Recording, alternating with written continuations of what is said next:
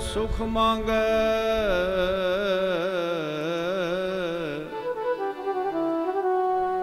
ਮੋਕੋ ਕਰ ਸੰਤਨ ਕੀ ਦੂਰ ਅੰਤਰ ਜਾਮੀ ਸੋ ਪ੍ਰਭ ਪੂਰਾ। ਦਾਨ ਦੇ ਸਾਧੂ ਕੀ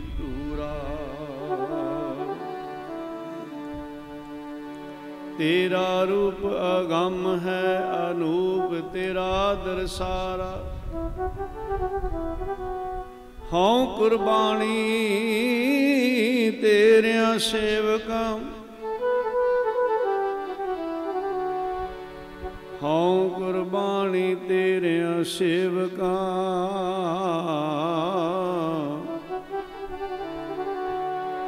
ਜਿਨ ਹਰ ਨਾਮ ਜਿਨ ਹਰ ਨਾਮ ਪਿਆਰਾ।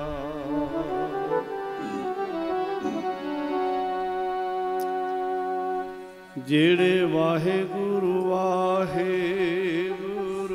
ਜਪਦੇ ਜਾਈਏ ਗੁਰਬਾਣੀ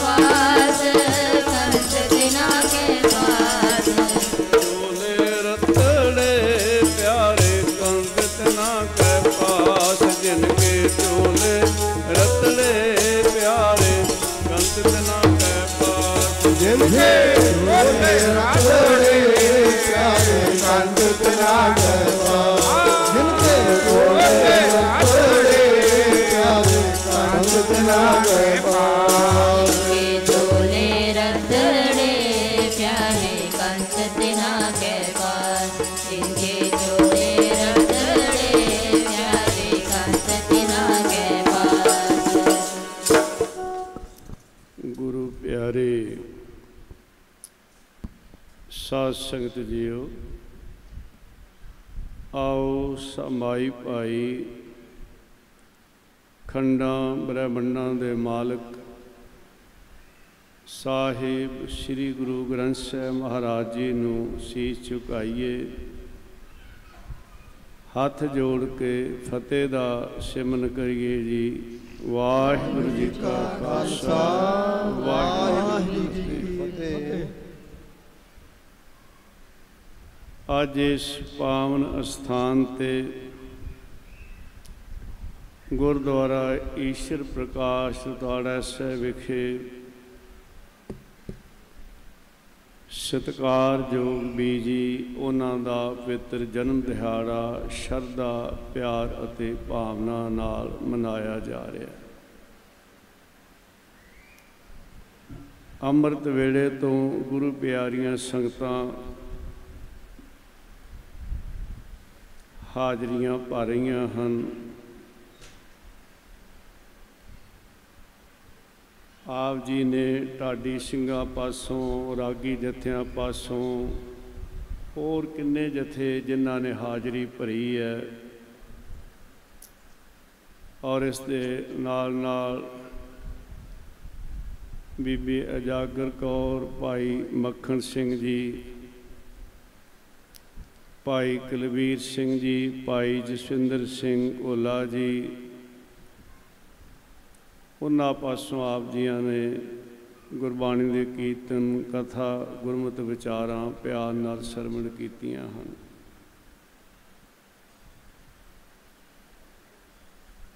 ਉਸ ਤੋਂ ਬਾਅਦ ਬਾਬਾ ਹਰਪਾਲ ਸਿੰਘ ਜੀ, ਉਹਨਾਂ ਨੇ ਆਪ ਜੀ ਦੇ ਨਾਲ ਸਤਿਕਾਰਯੋਗ ਬੀਜੀ ਪਿਆਰੇ ਮਹਾਪੁਰਸ਼, ਜਿਨ੍ਹਾਂ ਦੇ ਜੀਵਨ ਸਾਥੀ ਸਾਰਾ ਜੀਵਨ ਨਿਭਾਇਆ ਉਹਨਾਂ ਬਾਰੇ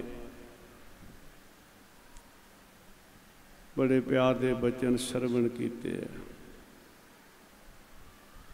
ਭਾਈ ਕੁਲਵੀਰ ਸਿੰਘ ਜੀ, ਭਾਈ ਗੁਰਦੀਪ ਸਿੰਘ ਜੀ, ਸੰਤ ਮਹਾਰਾਜ ਜੀ ਅਤੇ ਮਾਤਾ ਜੀ ਦੀ ਸਿਆ ਰਹੇ ਪ੍ਰੰਤ ਭਾਈ ਜਸਵਿੰਦਰ ਸਿੰਘ ਕੋਲਾ ਜੀ ਕਈ ਸਾਲ ਉਹਨਾਂ ਨੇ ਸਤਿਕਾਰਯੋਗ ਵੀ ਜੀ ਦੀ ਸੇਵਾ ਕੀਤੀ। ਇਸ ਸਥਾਨ ਤੇ ਕਿੰਨੇ ਸਿੰਘ ਹਨ, ਜਿਨ੍ਹਾਂ ਨੇ ਆਪਣੇ ਘਰ-ਬਾਰ ਛੱਡ ਕੇ, ਡਿਊਟੀਆਂ ਛੱਡ ਕੇ, ਜਿਵੇਂ ਸ਼੍ਰੀ ਮਾਨ ਜੀ ਹਨ, ਹੋਰ ਸਿੰਘ ਹਨ, ਆਪਣਾ ਜੀਵਨ ਗੁਰੂ ਲੇਖੇ ਲਾਇਆ ਹੈ।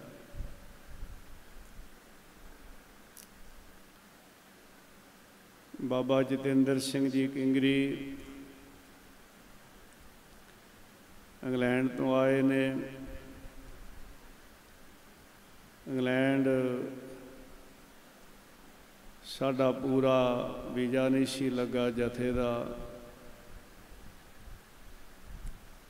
ਪਰ ਉੱਥੇ ਐਸੇ ਸਿੰਘਾਂ ਨੇ ਸਾਥ ਸਾਡਾ ਦਿੱਤਾ। ਬਾਬਾ ਜਤਿੰਦਰ ਸਿੰਘ, ਭਾਈ ਮਨਰਾਜ ਸਿੰਘ, ਹੋਰ ਕਿੰਨੇ ਸਿੰਘ।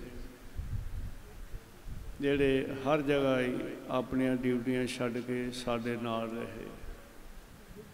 ਸਾਨੂੰ ਮਹਿਸੂਸ ਨਹੀਂ ਹੋਣ ਦਿੱਤਾ। ਐਡਾ ਜਥਾ ਬਣ ਗਿਆ। ਹੁਣ ਦਾਸ ਕੈਨੇਡਾ ਡੇਢ ਮਹੀਨਾ ਕਥਾ ਕੀਰਤਨ ਦੀ ਸੇਵਾ ਕਰਕੇ ਆਇਆ ਭਾਵੇਂ ਅਸੀਂ ਪੰਜ ਹੀ ਸਿੰਘ ਉੱਥੇ ਗਏ ਸਾਂ ਪਰ ਹੋਰ ਕਿੰਨੇ ਸਿੰਘ ਜਿਨ੍ਹਾਂ ਨੇ ਛੁੱਟੀਆਂ ਕਰ ਕਰਕੇ ਨਾਲ ਹਰ ਥਾਂ ਰਹੇ ਔਰ ਜਥੇ ਦੀ ਸਟੇਜ ਭਰੀ ਰਹੀ। ਆਪ ਪਿਛਲੇ ਹਫ਼ਤੇ ਦਾ ਵਚਨ ਹੈ, ਇੱਕ ਸਿੰਘ ਬੈਠਾ ਸੀ, ਸਾਡਾ ਆਪਣਾ ਪਿੱਛੇ ਭਾਈ ਮਨਦੀਪ ਸਿੰਘ ਤੇ ਉਹਦੇ ਨਾਲ ਇੱਕ ਬਜ਼ੁਰਗ ਬੈਠੇ ਸੀ। ਉਹ ਵੱਡੀ ਸਟੇਜ ਭਰੀ ਹੋਈ। ਉਹ ਉਹਨਾਂ ਨੂੰ ਪੁੱਛਦਾ ਵੀ ਬਾਬਾ ਜੀ ਪੂਰਾ ਜਹਾਜ਼ ਹੀ ਭਰ ਕੇ ਲਿਆਏ ਇੰਡੀਆ ਤੋਂ, ਵੀ ਇੰਨੇ ਸਿੰਘ ਕਿੱਥੋਂ ਆਏ? ਇਹ ਸਤਿਗੁਰ ਦੀ ਕਿਰਪਾ ਹੈ ਤੇ ਉਹਨਾਂ ਸਤਿਪੁਰਸ਼ਾਂ ਦੀਆਂ ਸ਼ੀਸਾਂ ਤੇ ਸੰਗਤ ਦਾ ਪਿਆਰ ਹੈ ਭਾਈ। ਆਓ ਸਤਿਕਾਰਯੋਗ ਵੀ ਜੀ, ਜਿਨ੍ਹਾਂ ਦੇ ਜੀਵਨ ਬਾਰੇ ਆਪ ਜੀਆਂ ਨੇ ਸਾਰਿਆਂ ਹੀ ਪਾਸੋਂ ਉਹਨਾਂ ਦੇ ਜੀਵਨ ਦੇ ਅਮੋਲਕ ਬਚਨ, ਨਿਰਮਲ ਜੀਵਨ ਬਾਰੇ ਬੜਾ ਕੁਝ ਸਰਵਣ ਕੀਤਾ ਹੈ ਸਾਸੀ ਗੁਰੂ ਘਰ ਵਿੱਚ ਮਤਾਵਾਂ, ਬੀਬੀਆਂ ਦੀ ਸੇਵਾ, ਸਿਮਰਨ, ਕੁਰਬਾਨੀਆਂ, ਤਿਆਗ, ਇਤਿਹਾਸ ਭਰਿਆ ਹੋਇਆ ਹੈ। ਮੇਰੇ ਗੁਰੂ ਨਾਨਕ ਸਾਹਿਬ ਸੱਚੇ ਪਾਤਸ਼ਾਹ ਜੀ ਨੇ ਜਿੱਥੇ ਬਰਾਬਰਤਾ ਦਿੱਤੀ ਹੈ, ਤੇ ਉੱਥੇ ਮਤਾਵਾਂ ਬੀਬੀਆਂ ਨੇ ਵੀ ਕੋਈ ਕਸਰ ਨਹੀਂ ਛੱਡੀ। ਹਰ ਸਮੇਂ ਜਦ ਅਸੀਂ ਇਤਿਹਾਸ ਪੜ੍ਹਦੇ ਤੇ ਸੁਣਦੇ ਹਾਂ ਕਿ ਗੁਰੂ ਕੇ ਖਾਲਸੇ ਦੀਆਂ ਕੁਰਬਾਨੀਆਂ ਸੰਸਾਰ ਦੇ ਭਲੇ ਵਾਸਤੇ, ਦੇਸ਼, ਕੌਮ, ਧਰਮ ਵਾਸਤੇ, ਗਊ ਗਰੀਬ ਦੀ ਰੱਖਿਆ ਵਾਸਤੇ ਅਨੇਕਾਂ ਦਿੱਤੀਆਂ ਨੇ। ਉਹਦੇ ਵਿੱਚ ਮਤਾਵਾਂ, ਬੀਬੀਆਂ ਦਾ ਵੀ ਜ਼ਿਕਰ ਆਉਂਦਾ ਸਾਸੰਗ ਵਿੱਚ ਕਿਉਂਕਿ ਇਹ ਕਿਰਪਾ ਗੁਰੂ ਨਾਨਕ ਸਾਹਿਬ ਦਸਮ ਪਾਤਸ਼ਾਹ ਧੰਨ ਧੰਨ ਗੁਰੂ ਗੋਬਿੰਦ ਸਿੰਘ ਮਹਾਰਾਜ ਦੀ ਹੈ। ਕੁਝ ਹੋਰ ਧਰਮਾਂ ਦੇ ਵਿੱਚ ਇੱਕ ਐਸਾ ਖਿਆਲ ਜਿਹੜਾ ਹੈ, ਉਹ ਪਰਬਲ ਹੈ, ਪ੍ਰਚਲਿਤ ਹੈ, ਜਿਹੜਾ ਗੁਰਮਤ ਨਾਲ ਮੇਲ ਨਹੀਂ ਖਾਂਦਾ। ਕਿ ਜਿਸ ਦਾ ਸਰੀਰ ਬੀਬੀ ਦਾ ਹੈ, ਉਹਦੀ ਮੁਕਤੀ ਨਹੀਂ ਹੁੰਦੀ, ਇਹ ਉਹਨਾਂ ਵਿੱਚ ਪ੍ਰਚਲਿਤ ਹੈ। ਪਰ ਗੁਰੂ ਨਾਨਕ ਸਾਹਿਬ ਦੇ ਘਰ ਵਿੱਚ ਬਰਾਬਰਤਾ ਹੈ। ਸਰੀਰ ਚਾਹੇ ਬੀਬੀ ਦਾ ਹੈ ਤੇ ਚਾਹੇ ਭਾਈ ਦਾ ਹੈ, ਉਹ ਮਨੁੱਖ ਜਨਮ ਹੈ। ਧਿਆਨ ਦੇਣਾ, ਉਹ ਮਨੁੱਖ ਜਨਮ ਹੈ। ਸਰੀਰ ਦਾ ਮੂਲ ਮਨ ਹੈ ਤੇ ਮਨ ਦਾ ਮੂਲ ਆਤਮਾ ਹੈ ਤੇ ਆਤਮਾ ਦਾ ਮੂਲ ਪਰਮਾਤਮਾ ਹੈ। ਗਿਆਨ ਕਿਸ ਨੂੰ ਹੁੰਦਾ ਹੈ? ਧਿਆਨ ਦੇਣਾ। ਗਿਆਨ ਸਰੀਰ ਨੂੰ ਨਹੀਂ ਹੁੰਦਾ, ਗਿਆਨ ਹੁੰਦਾ ਸੁਰਤ ਨੂੰ, ਤੇ ਸੁਰਤ ਸਭ ਵਿੱਚ ਇੱਕੋ ਜੀ ਹੈ।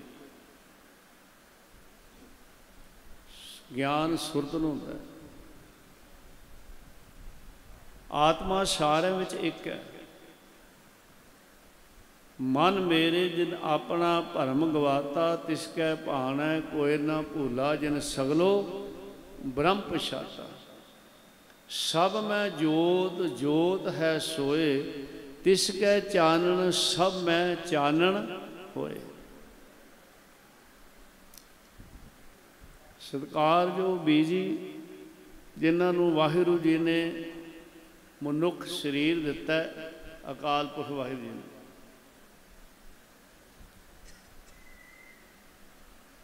ਤੇ ਆਪ ਜੀ ਦੇ ਸਤਿਗੁਰੂ, ਗੁਰੂ, ਧੰਨ ਗੁਰੂ ਗ੍ਰੰਥ ਸਾਹਿਬ ਮਹਾਰਾਜ, ਧਿਆਨ ਦੇਣਾ ਪਿਤਾ ਧੰਨ ਗੁਰੂ ਗੋਬਿੰਦ ਸਿੰਘ ਮਹਾਰਾਜ ਜੀ ਤੇ ਮਾਤਾ ਮਾਤਾ ਸਾਹਿਬ ਕੌਰ। ਇਹ ਵੱਡੀ ਬਖਸ਼ਿਸ਼ ਹੈ ਭਾਈ। ਹੋਰ ਬਖਸ਼ਾਂ ਅਕਾਲ ਪੁਰਖ ਦੀਆਂ ਕਿੰਨੀਆਂ ਨੇ? ਕਿ ਆਪ ਜੀ ਦੇ ਸਰੀਰ ਦੇ ਪਿਤਾ ਬ੍ਰਹਮ ਗਿਆਨੀ ਮਹਾਪੁਰਸ਼ ਸੰਤ ਬਾਬਾ ਹੀਰਾ ਸਿੰਘ ਪਿਤਾ ਬ੍ਰਹਮ ਗਿਆਨੀ ਸਰੀਰ ਦੇ। ਇੱਥੇ ਹੀ ਬਸ ਨਹੀਂ, ਆਪ ਜੀ ਦੇ ਪਤੀ ਬ੍ਰਹਮ ਗਿਆਨੀ ਰਤਵਾੜਾ ਸਾਹਿਬ ਮਹਾਪੁਰਸ਼, ਦੇਖੋ। ਪਿਤਾ ਬ੍ਰਹਮ ਗਿਆਨੀ ਪਤੀ ਬ੍ਰਹਮ ਗਿਆਨੀ ਤੇ ਜਿਨ੍ਹਾਂ ਦੀ ਸੰਗਤ ਪ੍ਰਾਪਤ ਹੋਈ ਰਾੜਾ ਸਾਲੇ ਮਹਾਪੁਰਸ਼ਾਂ ਦੀ, ਜਿਨ੍ਹਾਂ ਦਾ ਸੰਸਾਰ ਵਿੱਚ ਸੂਰਜ ਵਾਂਗੂ ਨਾਮ ਚਮਕਦਾ ਸਾਸਨ ਰਾੜਾ ਸਾਹਿਬ ਦਾ। ਰਾੜਾ ਸਾਹਿਬ ਇੱਕ ਵਾਰ ਸੰਤ ਸਮਾਜ ਦੀ ਮੀਟਿੰਗ ਹੋਈ ਸੀ ਤੇ ਬਹੁਤ ਸੰਤ ਸਨ ਉੱਥੇ ਤੇ ਉੱਥੇ ਸ੍ਰੀ ਅਕਾਲ ਤਖਤ ਸਾਹਿਬ ਜੀ ਦੇ ਸਾਬਕਾ ਜਥੇਦਾਰ ਭਾਈ ਸਾਹਿਬ ਭਾਈ ਜਸਵੀਰ ਸਿੰਘ ਜੀ ਰੋਡੇ ਜਦ ਬੋਲੇ ਤੇ ਉਹਨਾਂ ਨੇ ਕੀ ਕਿਹਾ? ਉਹਨਾਂ ਨੇ ਕਿਹਾ ਕਿ ਅਸੀਂ ਤੇ ਆਮ ਹੀ ਸਮਝਦੇ ਸੀ ਕਿ ਚਿੱਟਿਆਂ ਚੋਲਿਆਂ ਵਾਲੇ। ਪਰ ਜਦ ਇਤਿਹਾਸ ਪੜ੍ਹਿਆ ਜਦ ਇਤਿਹਾਸ ਪੜ੍ਹਿਆ। ਕਿਉਂਕਿ ਆਤਮਾਰ ਦਾ ਵਚਨ ਤੁਸੀਂ ਸੁਣਿਆ ਆਤਮਾਰ ਦੇ ਵਿੱਚ ਨੌ ਰਤਨ ਪੁਸਤਕ ਤੇ ਹੋਰ ਹੀ ਮਹਾਪੁਰਸ਼ਾਂ ਜੀਵਨ ਆਏ ਜਦ ਕਹਿੰਦੇ ਜਦ ਹੁਣ ਇਤਿਹਾਸ ਪੜਿਆ ਕਿ ਇਹ ਯੋਧਿਆਂ ਤੇ ਸੂਰਮਿਆਂ ਦੀ ਸੰਪਰਦਾ ਹੈ। ਤਨ ਤਨ ਭਾਈ ਸਾਹਿਬ, ਭਾਈ ਦਇਆ ਸਿੰਘ ਮਹਾਰਾਜ ਪੰਜਾਬੀ ਦੇ ਮੁਖੀ ਉਹਨਾਂ ਤੋਂ ਇਹ ਸੰਪਰਦਾ, ਦਸਮ ਪਾਤਸ਼ਾਹ ਦੀ ਕਿਰਪਾ ਨਾਲ ਚੱਲਦੀ ਹੋਈ, ਕਿਉਂਕਿ ਸਾਰੇ ਖਾਲਸੇ ਹਨ, ਸਾਰਿਆਂ ਦਾ ਪਿਤਾ ਗੁਰੂ ਗੋਬਿੰਦ ਸਿੰਘ ਮਹਾਰਾਜ ਅੱਡ ਅੱਡ ਸੇਵਾ ਲੱਗੀਆਂ ਹਨ। ਕਹਿੰਦੇ ਇਹਨਾਂ ਦੇ ਵਿੱਚ ਬਾਬਾ ਸਾਹਿਬ ਸਿੰਘ ਜੀ, ਉਨਾ ਸਾਹਿਬ ਵਾਲੇ, ਬਾਬਾ ਵੀਰ ਸਿੰਘ ਜੀ, ਨਰੰਗਾਬਾਦ ਵਾਲੇ, ਬਾਬਾ ਮਹਾਰਾਜ ਸਿੰਘ ਜੀ, ਜਿਨ੍ਹਾਂ ਅੰਗਰੇਜ਼ਾਂ ਦੇ ਛੱਕੇ ਛੜਾਏ ਹਥਿਆਰ ਨਹੀਂ ਸੀ ਸੁੱਟੇ ਉਹਦੇ ਕੇ ਐਸੇ ਯੋਧੇ ਸੂਰਬੀਰ ਹੋਏ ਨੇ। ਇੱਕ ਵਾਰ ਇੱਕ ਅੰਗਰੇਜ਼ ਜੋੜਾ ਰਾੜਾ ਸਾਹਿਬ ਆਇਆ। ਉੱਚੀ ਉੱਚੀ ਮੰਗਲੀ ਵਾਲੇ ਮਹਾਂਪੁਰਸ਼ ਸੰਤ ਨਰਿੰਦਰ ਰੰਜਨ ਸਿੰਘ ਜੀ ਉੱਥੇ ਸੇਵਾ ਕਰਦੇ ਸੀ, ਉਹਨਾਂ ਨੂੰ ਮਿਲੇ। ਕਹਿਣ ਲੱਗੇ ਕਿ ਸਾਡੇ ਪਰਿਵਾਰ ਦਾ ਇੱਕ ਜੀਵ ਵਿਛੜ ਗਿਆ ਤੇ ਸਾਡਾ ਉਹਦੇ ਅੰਦਰ ਵਿਰਾਗ ਵੀ ਜਿਹੜਾ ਦੇਖਦਾ ਸੀ, ਸੁਣਦਾ ਸੀ, ਬੋਲਦਾ ਸੀ, ਹਰ ਕੰਮ ਸਾਡੇ ਨਾਲ ਕਰਦਾ ਸੀ, ਉਹ ਰੂਹ ਕਿੱਥੇ ਗਈ? ਤੇ ਅਸੀਂ ਸੰਤ ਹਰਭਜਨ ਸਿੰਘ ਜੋਗੀ ਕੋਲ ਚਲੇ ਗਏ। ਉਹਨਾਂ ਨੇ ਸਾਨੂੰ ਕੋਈ ਸਾਧਨ ਕਰਾਏ, ਪ੍ਰਾਣਾ ਜਾਮ ਕਰਾਇਆ। ਅਸੀਂ ਆਗਾ ਜੀ ਅੱਗੇ ਦੱਸੋ। ਜੋ ਉਹਨਾਂ ਨੇ ਕਿਹਾ, ਦੇਖੋ ਸੰਤ ਹਰਭਜਨ ਸਿੰਘ ਜੋਗੀ ਅਮਰੀਕਾ, ਜਿਨ੍ਹਾਂ ਨੇ ਕਿੰਨੇ ਅੰਗਰੇਜ਼ਾਂ ਨੂੰ ਖੰਡੇਬੜ ਦਾ ਅੰਮ੍ਰਿਤ ਛਕਾਇਆ ਤਾਂ ਸੰਤ ਹਰਭਜਨ ਸਿੰਘ ਜੋਗੀ ਨੇ ਕਿਹਾ, ਜੇ ਅੱਗੇ ਨਾਮ ਦੀ ਗੱਲ ਪੁੱਛਣੀ ਹੈ ਤੇ ਰਾਣਾ ਸਾਹਿਬ ਦੀ ਸੰਪਦਾ ਤੁਹਾਨੂੰ ਮਹਾਂਪੁਰਸ਼ ਮਿਲ ਗਏ ਨਾਮਧਾਰੀ ਮਹਾਪੁਰਸ਼ਾਂ ਦੇ ਮੁਖੀ ਬਾਬਾ ਪ੍ਰਤਾਪ ਸਿੰਘ ਜੀ। ਸੰਗਤ ਨੂੰ ਕਹਿੰਦੇ ਨੇ, ਸੰਗਤ ਬਚਨਕਾਰੀ ਜੀ, ਕੋਈ ਪੂਰ ਮਹਾਪੁਰਸ਼ਾਂ ਦੇ ਦਰਸ਼ਨ ਕਰਾਓ। ਕਹਿੰਦੇ, ਜਾਓ ਰਾੜਾ ਸਾਲੇ ਦੇ ਕਰੋ ਕਹਿੰਦੇ, ਜੀ, ਤੁਸੀਂ ਘਾਟੋ ਕਿਸੇ ਨਾਲੋਂ? ਤੁਸੀਂ ਸਾਨੂੰ ਰਾੜਾ ਸਾਰੇ ਮਹਾਪੁਰਸ਼ਾਂ ਦੀ ਸਾਡੇ ਕੋਲ ਸਿਫਤ ਕਰ ਦਿਓ। ਤੁਸੀਂ ਕਿਹੜੇ ਕਿਸੇ ਨਾਲ ਘੱਟ ਹੋ? ਤੇ ਬਾਬਾ ਪ੍ਰਤਾਪ ਸਿੰਘ ਜੀ ਨੇ ਪਤਾ ਕੀ ਕਿਹਾ?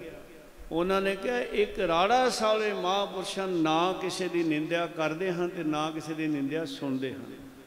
ਜਾਓ ਉਹਨਾਂ ਦੇ ਦਰਸ਼ਨ ਕਰਕੇ ਇਹ ਮੈਂ ਬੇਨਤੀ ਤਾਂ ਕੀਤੀ ਹੈ ਕਿ ਆਪਣੇ ਪਿਆਰੇ ਮਹਾਪੁਰਸ਼ ਦੇ ਸਤਿਕਾਰ ਜੋ ਬੀਜੀ ਨੂੰ ਉਹਨਾਂ ਬ੍ਰਹਮ ਗਿਆਨੀ ਮਹਾਪੁਰਸ਼ਾਂ ਦੀ ਸੰਗਤ ਪ੍ਰਾਪਤ ਹੋਈ।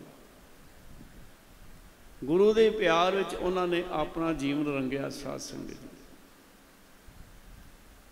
ਇੱਕ ਜੀਵਨ ਹੁੰਦਾ ਆਪਣੇ ਵਾਸਤੇ ਰੱਬ ਦੇ ਪਿਆਰਾਂ ਦਾ ਜੀਵਨ ਹੁੰਦਾ, ਦੂਸਰਿਆਂ ਵਾਸਤੇ ਸਾਧ ਸੰਗਤ ਜੀ।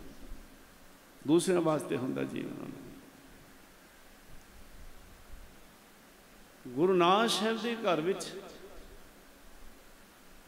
ਪਿਆਰੇ ਮਹਾਪੁਰਸ਼ਾਂ ਦਾ ਵਚਨ ਹੈ ਕਿ ਜੀਵਨ ਹੀ ਪ੍ਰਚਾਰ ਹੈ। ਇੱਥੇ ਕਥਨੀ ਪ੍ਰਧਾਨ ਨਹੀਂ, ਕਰਨੀ ਪ੍ਰਧਾਨ ਹੈ।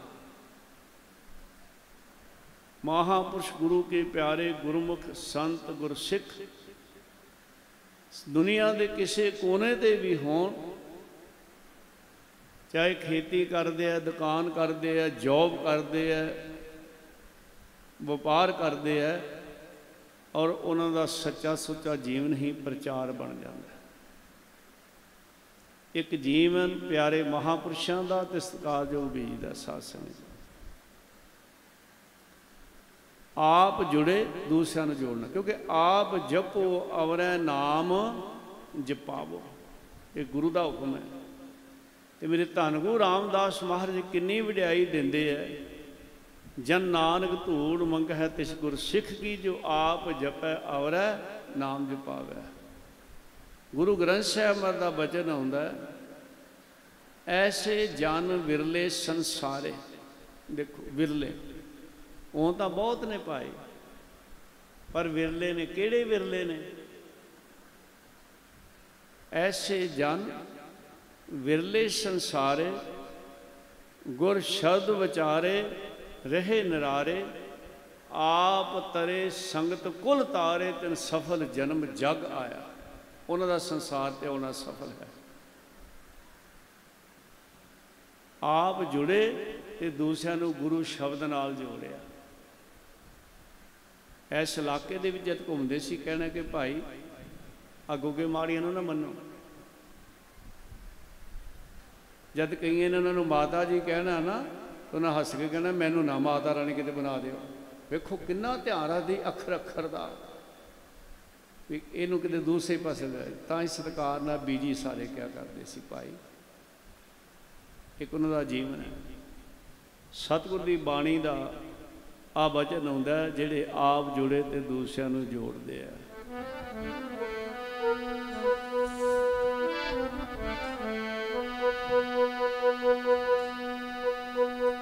ਆਪ ਜੁੜੇ ਅਤੇ ਹੋਰਨਾਂ ਨੂੰ ਜੋੜਿਆ। ਆਪ ਤਰੇ ਜਗ ਤਾਰਿਆ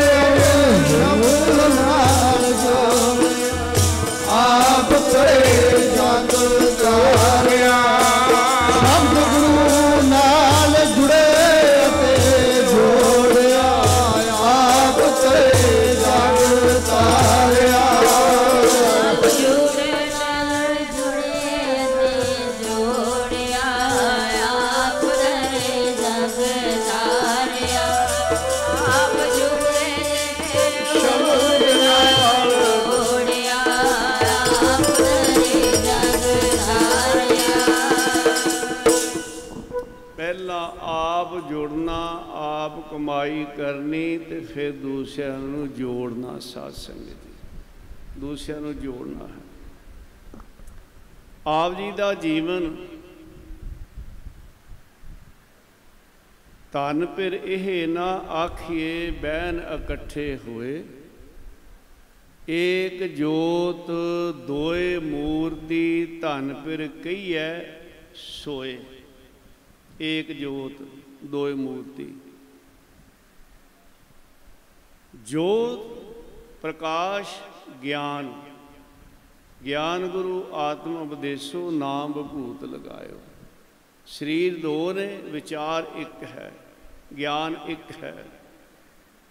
ਉਹ ਹੈ ਗੁਰਮਤ ਦਾ ਗਿਆਨ, ਗੁਰਮਤ ਦਾ ਪ੍ਰਚਾਰ। ਸਾਹਿਬ ਕਹਿੰਦੇ, ਸਰੀਰ ਕਰਕੇ ਨੇੜੇ ਬੈਠਣ ਨੂੰ ਹੀ ਤਨ ਫਿਰ ਨਹੀਂ ਕਹਿੰਦੇ। ਤਨ ਫਿਰ ਉਹ ਹਨ ਸਰੀਰ ਦੋ, ਜੋਤ ਇੱਕ ਹੋਵੇ। ਆਪ ਜੀ ਨੇ ਸਰਵਣ ਕੀਤਾ, ਜੇ ਮਹਾਂਪੁਰਸ਼ ਸਿੰਧ ਵਿੱਚ ਨੇ ਤੇ ਸਤਿਕਾਰਯੋਗ ਬੀਜੀ ਪਿੱਛੇ ਨੇ, ਬਾਅਦ ਚ ਗਏ ਨੇ ਉੱਥੇ। ਜੇ ਨਾ ਰਹੇ ਨੇ, ਤਾਂ ਵੀ ਪ੍ਰਚਾਰ ਕੀਤਾ।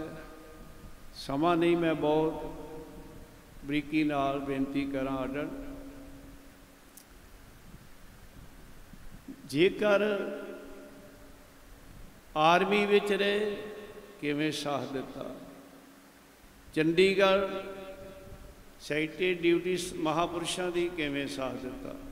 ਰਾੜਾ ਸਾਲੇ ਮਹਾਪੁਰਸ਼ਾਂ ਨੂੰ ਲਿਆ ਕੇ ਆਪ ਸਾਰੇ ਪ੍ਰਬੰਧ ਕਰਨੇ, ਖਰਚ ਕਰਨੇ ਤੇ ਦੀਵਾਨ ਸਜਾਉਣੇ ਮਹਾਪੁਰਸ਼ਾਂ ਦੇ ਸਾਥ ਸੰਗਤ।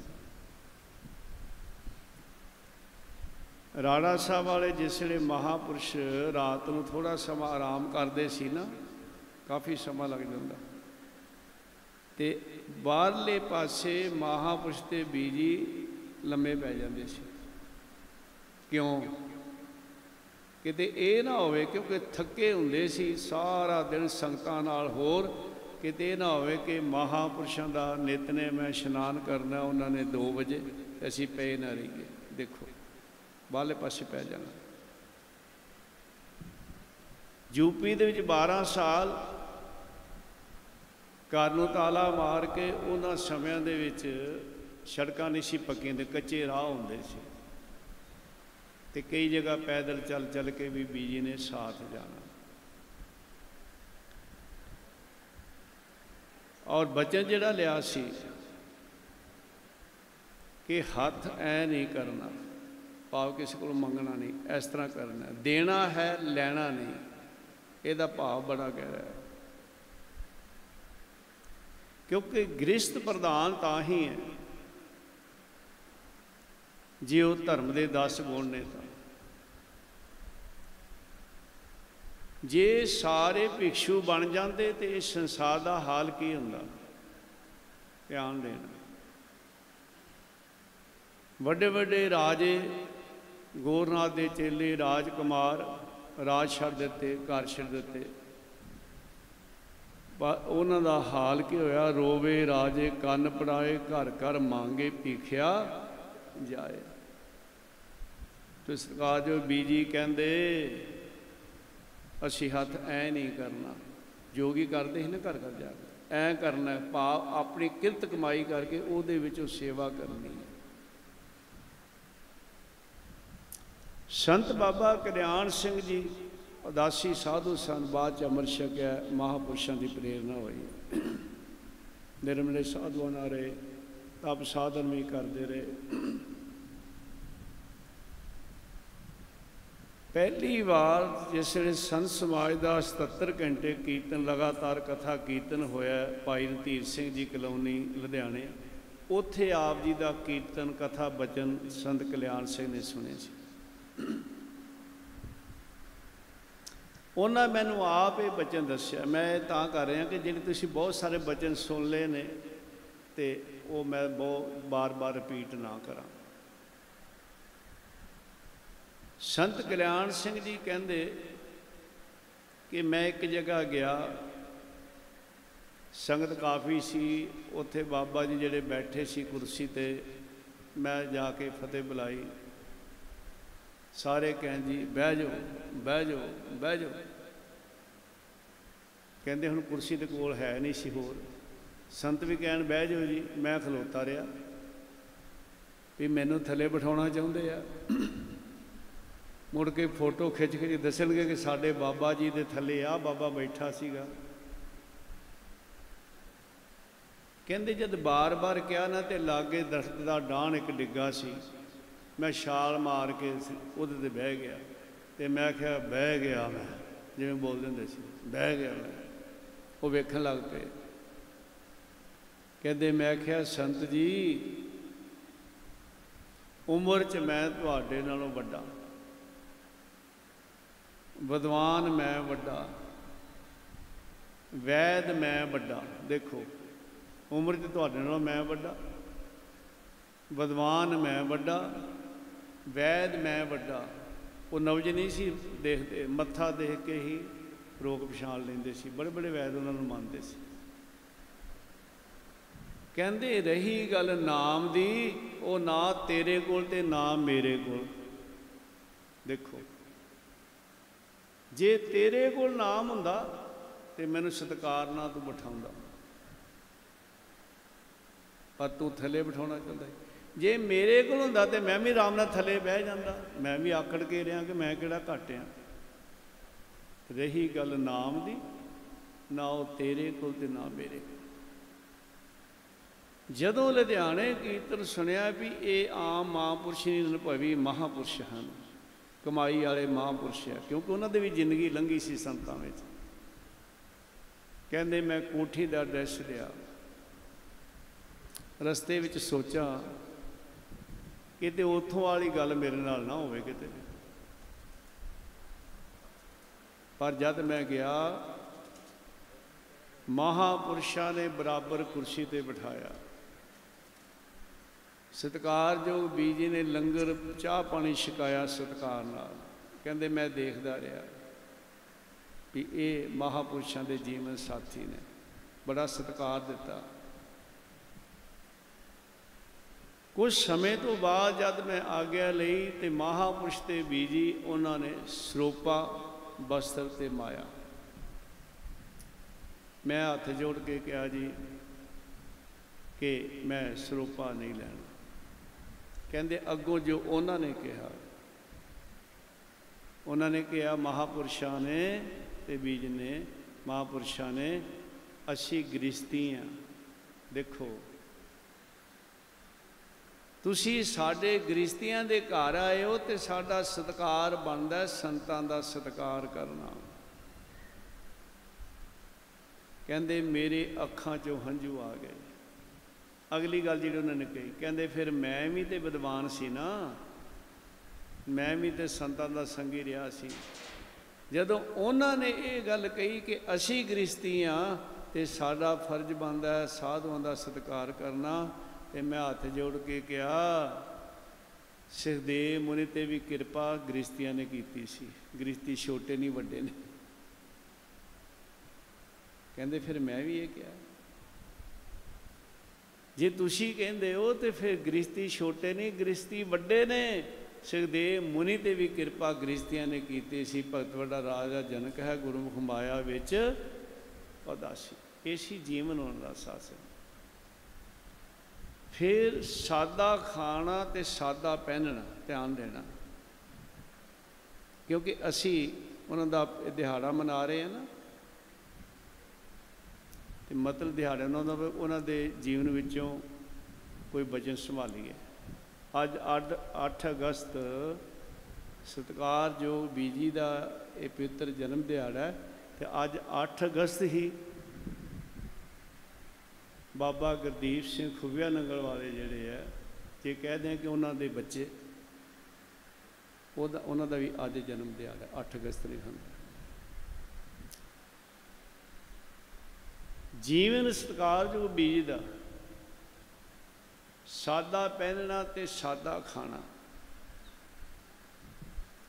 ਪਕੰਬਰਾਪੁਰ ਵਾਲੇ ਗਿਆਨੀ ਹਰਿੰਦਰ ਸਿੰਘ ਜੀ, ਬਹੁਤ ਵੱਡਾ ਪਰਿਵਾਰ ਔਰ ਬਲਾਸਪੁਰ ਦੇ ਇਲਾਕੇ 'ਚ ਕਹਿੰਦੇ ਕਹਾਉਂਦੇ ਸਨ, ਉਹ ਥੰਮ ਸਨ ਗਿਆਨੀ ਹਰਿੰਦਰ ਸਿੰਘ ਜੀ ਤੇ ਮਹਾਪੁਰਸ਼ਾਂ ਨੇ ਹੀ ਉਹਨਾਂ ਨੂੰ ਇਸ ਪਾਸੇ ਕਿ ਤੁਸੀਂ ਜਿੱਥੇ ਗੁਰਸਿੱਖੀ ਵਿੱਚ ਪਰਪਾਕੋ ਉਥੇ ਰਾਜਨੀਤੀ ਵਿੱਚ ਵੀ ਆਓ ਤੇ ਤੁਸੀਂ ਵਿਧਾਨ ਸਭਾ ਜਾਓ, ਅੱਗੇ ਜਾਓ ਤਾਂ ਕਿ ਸਿੱਖਾਂ ਦੀ ਆਵਾਜ਼ ਜਿਹੜੀ ਹੈ ਯੂਪੀ ਦੇ ਸਿੱਖਾਂ ਦੀ ਉਠਾਓ।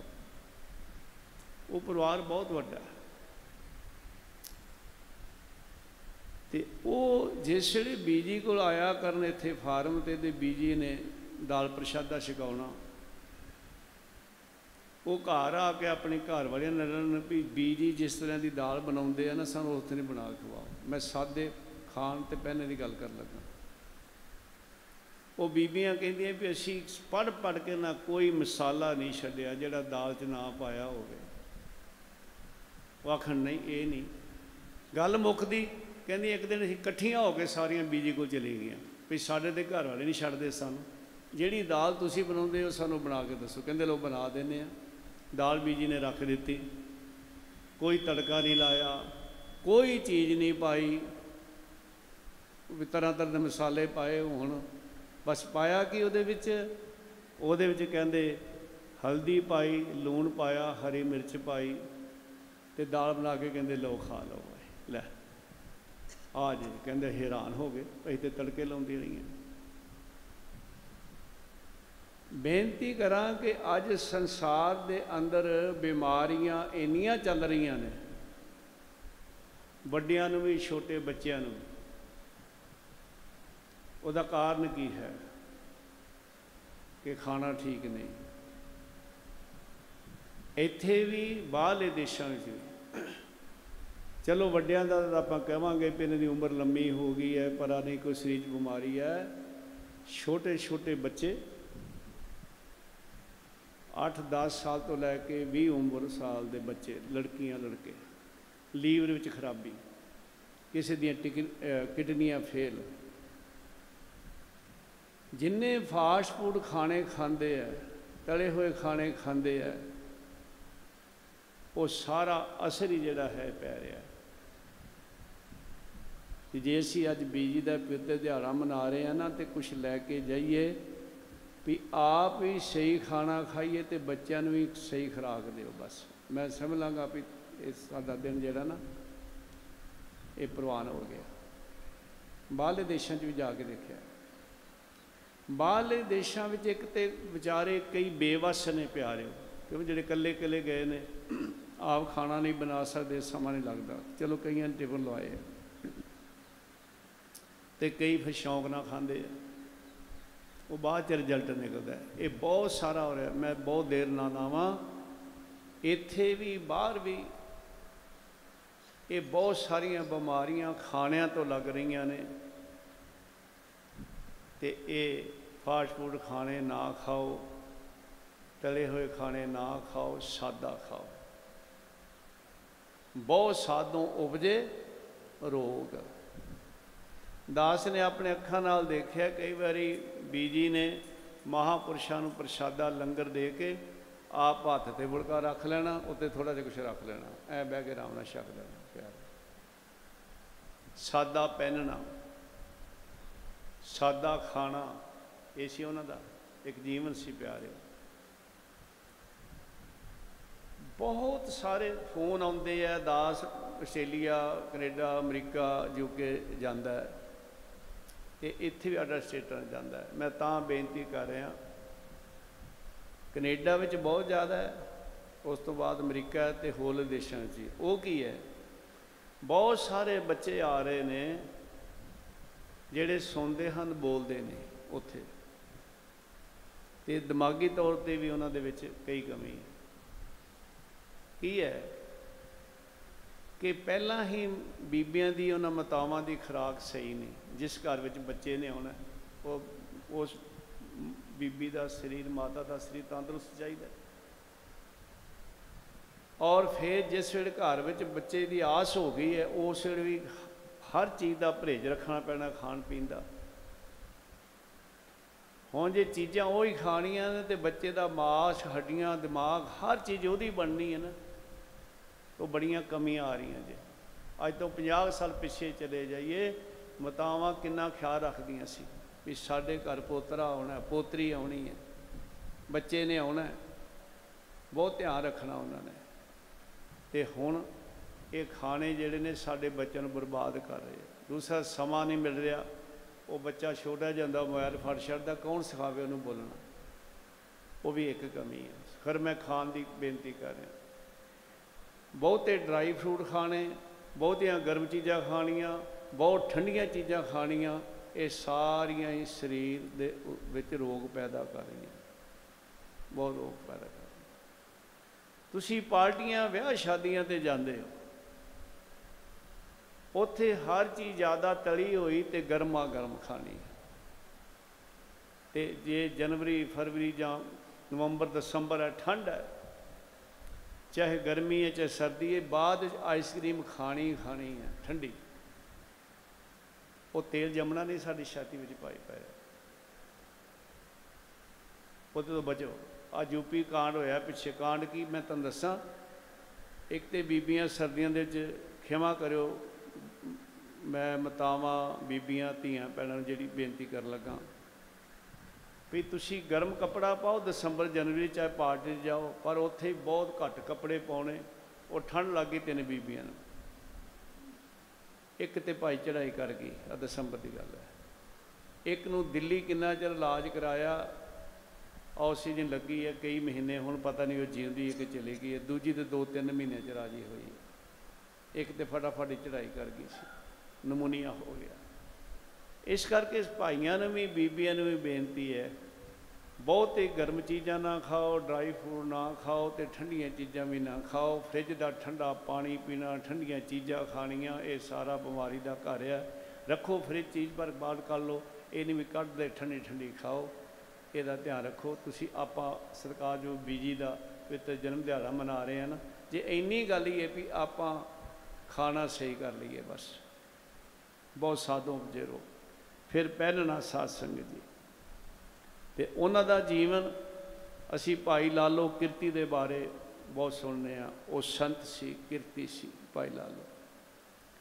ਕਈ ਵਾਰੀ ਅਸੀਂ ਭਾਈ ਲਾਲੋ ਦੇ ਬਾਰੇ ਉਹਨੂੰ ਇੰਨਾ ਗਰੀਬ ਕਹਿ ਨੇ ਇਹ ਕਈ ਵਾਰੀ ਸਾਡੇ ਸੁਭਾਅ ਬਣੇ ਹੁੰਦੇ ਆ। ਕਿਸੇ ਨੂੰ ਵੱਡਾ ਆਖਣ ਲੱਗਿਆ, ਅਮੀਰ ਆਖਣ ਲੱਗਾ ਬਹੁਤਾ ਕਹੀ ਜਾਣਾ।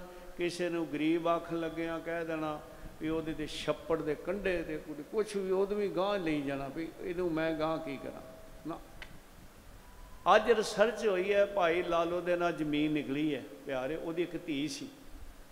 ਉਹ ਅਮੀਰ ਨਹੀਂ ਸੀ, ਪਰ ਉਹ ਗਰੀਬ ਵੀ ਨਹੀਂ ਸੀ। ਆਏ ਗਏ ਸਾਧੂਆਂ ਸੰਤਾਂ ਦੀ ਸੇਵਾ ਕਰਦਾ ਸੀ, ਪਿਆਰੇ। ਪਰ ਸੱਚਾ ਕਿਰਤੀ ਸੀ। ਤੇ ਜਿੱਥੇ ਉਹ ਸੰਤ ਸੀ, ਸਾਧੂ ਸੀ, ਉੱਥੇ ਉਹਦੇ ਜਿਹੜੇ ਘਰੋਂ ਬੀਬੀ ਸੀ ਨਾ, ਉਹਦੇ ਬਾਰੇ ਜਿਹੜਾ ਬਚਨ ਆਉਂਦਾ ਹੈ ਇੱਕ ਰੱਬ ਦਾ ਪਿਆਰਾ ਲਿਖਦਾ ਲਾਲੋ ਸਾਧ ਬੜਾ ਸੰਤੋਖੀ। ਬੜਾ ਸੰਤੋਖੀ ਸੀ ਉਹ ਸਾਧ ਸੰਗਤ। ਕਿਉਂਕਿ ਨਾਮ ਨਾਲ ਹੀ ਸੰਤੋਖ ਆਉਂਦਾ ਹੈ। ਤੇ ਜਿੰਨਾ ਸੰਤੋਖ ਨਹੀਂ ਹੁੰਦਾ, ਬਿਨਾ ਸੰਤੋਖ ਨਹਿ ਕੋ ਰਾਜਾ। ਲਾਲੋ ਸਾਧ ਬੜਾ ਸੰਤੋਖੀ, ਕਰ ਧਰਮ ਮਜੂਰੀ ਕਾਇਆ ਪੋਖੀ ਸੱਚੀ ਕਿਰਤ ਕਰਦਿਆਂ ਉਹਨੇ ਆਪਣੇ ਅੰਦਰ ਦੀ ਖੋਜ ਕੀਤੀ ਸੀ। ਸਾਧ ਸੰਗਤ ਜੀ ਅੰਦਰ ਦੀ ਖੋਜ ਕਰਨੀ। ਮਹਾਪੁਰਸ਼ ਸਨ 2000 ਦਾ ਵਚਨ ਹੈ ਤੇ ਯੂ ਐਸ ਏ ਅਮਰੀਕਾ ਬੈਠੇ ਹੈ ਤੇ ਇੱਕ ਘਰ ਵਿੱਚ ਕੋਈ 40 50 ਪ੍ਰੇਮੀ ਹੋਣਗੇ, ਬੀਬੀਆਂ ਭਾਈ, ਤੇ ਇੱਕ ਪ੍ਰੇਮੀ ਉੱਠ ਕੇ ਖੜਾ ਹੋ ਗਿਆ। ਕਹਿੰਦੇ, ਬਾਬਾ ਜੀ, ਮੈਂ ਆਪ ਜੀ ਦੇ ਦੀਵਾਨ ਸੁਣਨਾ ਵੀ ਸਾਰਿਆਂ ਦੇ ਵਿੱਚ ਉਸ ਰੱਬ ਦੀ, ਗੋਡ ਦੀ ਜੋਤ ਹੈ। ਕਹਿੰਦੇ, ਹਾਂ। ਅਗਲਾ ਸਵਾਲ ਕੀ ਕੀਤਾ ਉਹਨੇ? ਕਹਿੰਦਾ, ਜਦ ਸਾਰਿਆਂ ਦੇ ਵਿੱਚ ਉਹਦੀ ਜੋਤ ਹੈ, ਤੇ ਫਿਰ ਦੇਵੀ ਦੇਵਤਿਆਂ ਨੂੰ ਮੰਨਣਾ ਕਿਹੜਾ ਮਾੜਾ ਹੈ? ਦੇਖੋ, ਅੱਗੇ ਕਿੱਧਰ ਨੂੰ, ਕਿੱਧਰ ਲੈ ਕੇ ਗਏ? ਫਿਰ ਦੇਵੀ ਦੇਵਤਿਆਂ ਦੇ ਵਿੱਚ ਵੀ ਤੇ ਉਹਦੀ ਜੋਤ ਹੈ। ਹੁਣ ਸਾਧ ਜਿਹੜੇ ਮਹਾਪੁਰਸ਼ ਨੇ ਨਾ ਕਈ ਸਮੇਂ ਤੇ ਉਸ ਜਿਹੜੇ ਪਤਾ ਹੁੰਦਾ ਕਿ ਹੁਣੇ ਦਾ ਜਵਾਬ ਦੇਣਾ ਕਈ ਵਾਰੀ ਸਮੇਂ-ਸਮੇਂ ਜਵਾਬ ਦਿੰਦੇ ਆ। ਜਿਵੇਂ ਕਿਸੇ ਵੇਸ਼ਵਾ ਨੇ ਕਿਸੇ ਰੱਬ ਦੇ ਪਿਆਰੇ ਨੂੰ ਕਿਹਾ ਸੀ ਕਿ ਤੇਰੀ ਦਾੜੀ ਚੰਗੀ ਕਿ ਮੇਰੇ ਕੁੱਤੇ ਦੀ ਪੂਛ ਚੰਗੀ, ਇਹ ਵੀ ਤੇ ਚਿੱਟੀ ਹੈ। ਚੁੱਪ ਰਹੇ ਸਨ। ਜਦੋਂ ਨਾ ਸਵਾਸ ਸ਼ਰਨੇ ਸੀ ਨਾ ਉਦੋਂ ਬੁਲਾਇਆ। ਦੱਸ ਬੇਟੀ ਹੁਣ, ਚੇਲੇ ਤੇ ਪਹਿਲਾਂ ਸੁਣ ਕੇ ਹੈਰਾਨ ਹੋ ਗਏ, ਜਦੋਂ ਕਿ ਉਹਨੂੰ ਬੁਲਾਓ, ਕਹਿੰਦੇ, ਲੈ ਅੱਜ ਪਤਾ ਲੱਗਾ, ਦੇਖੋ।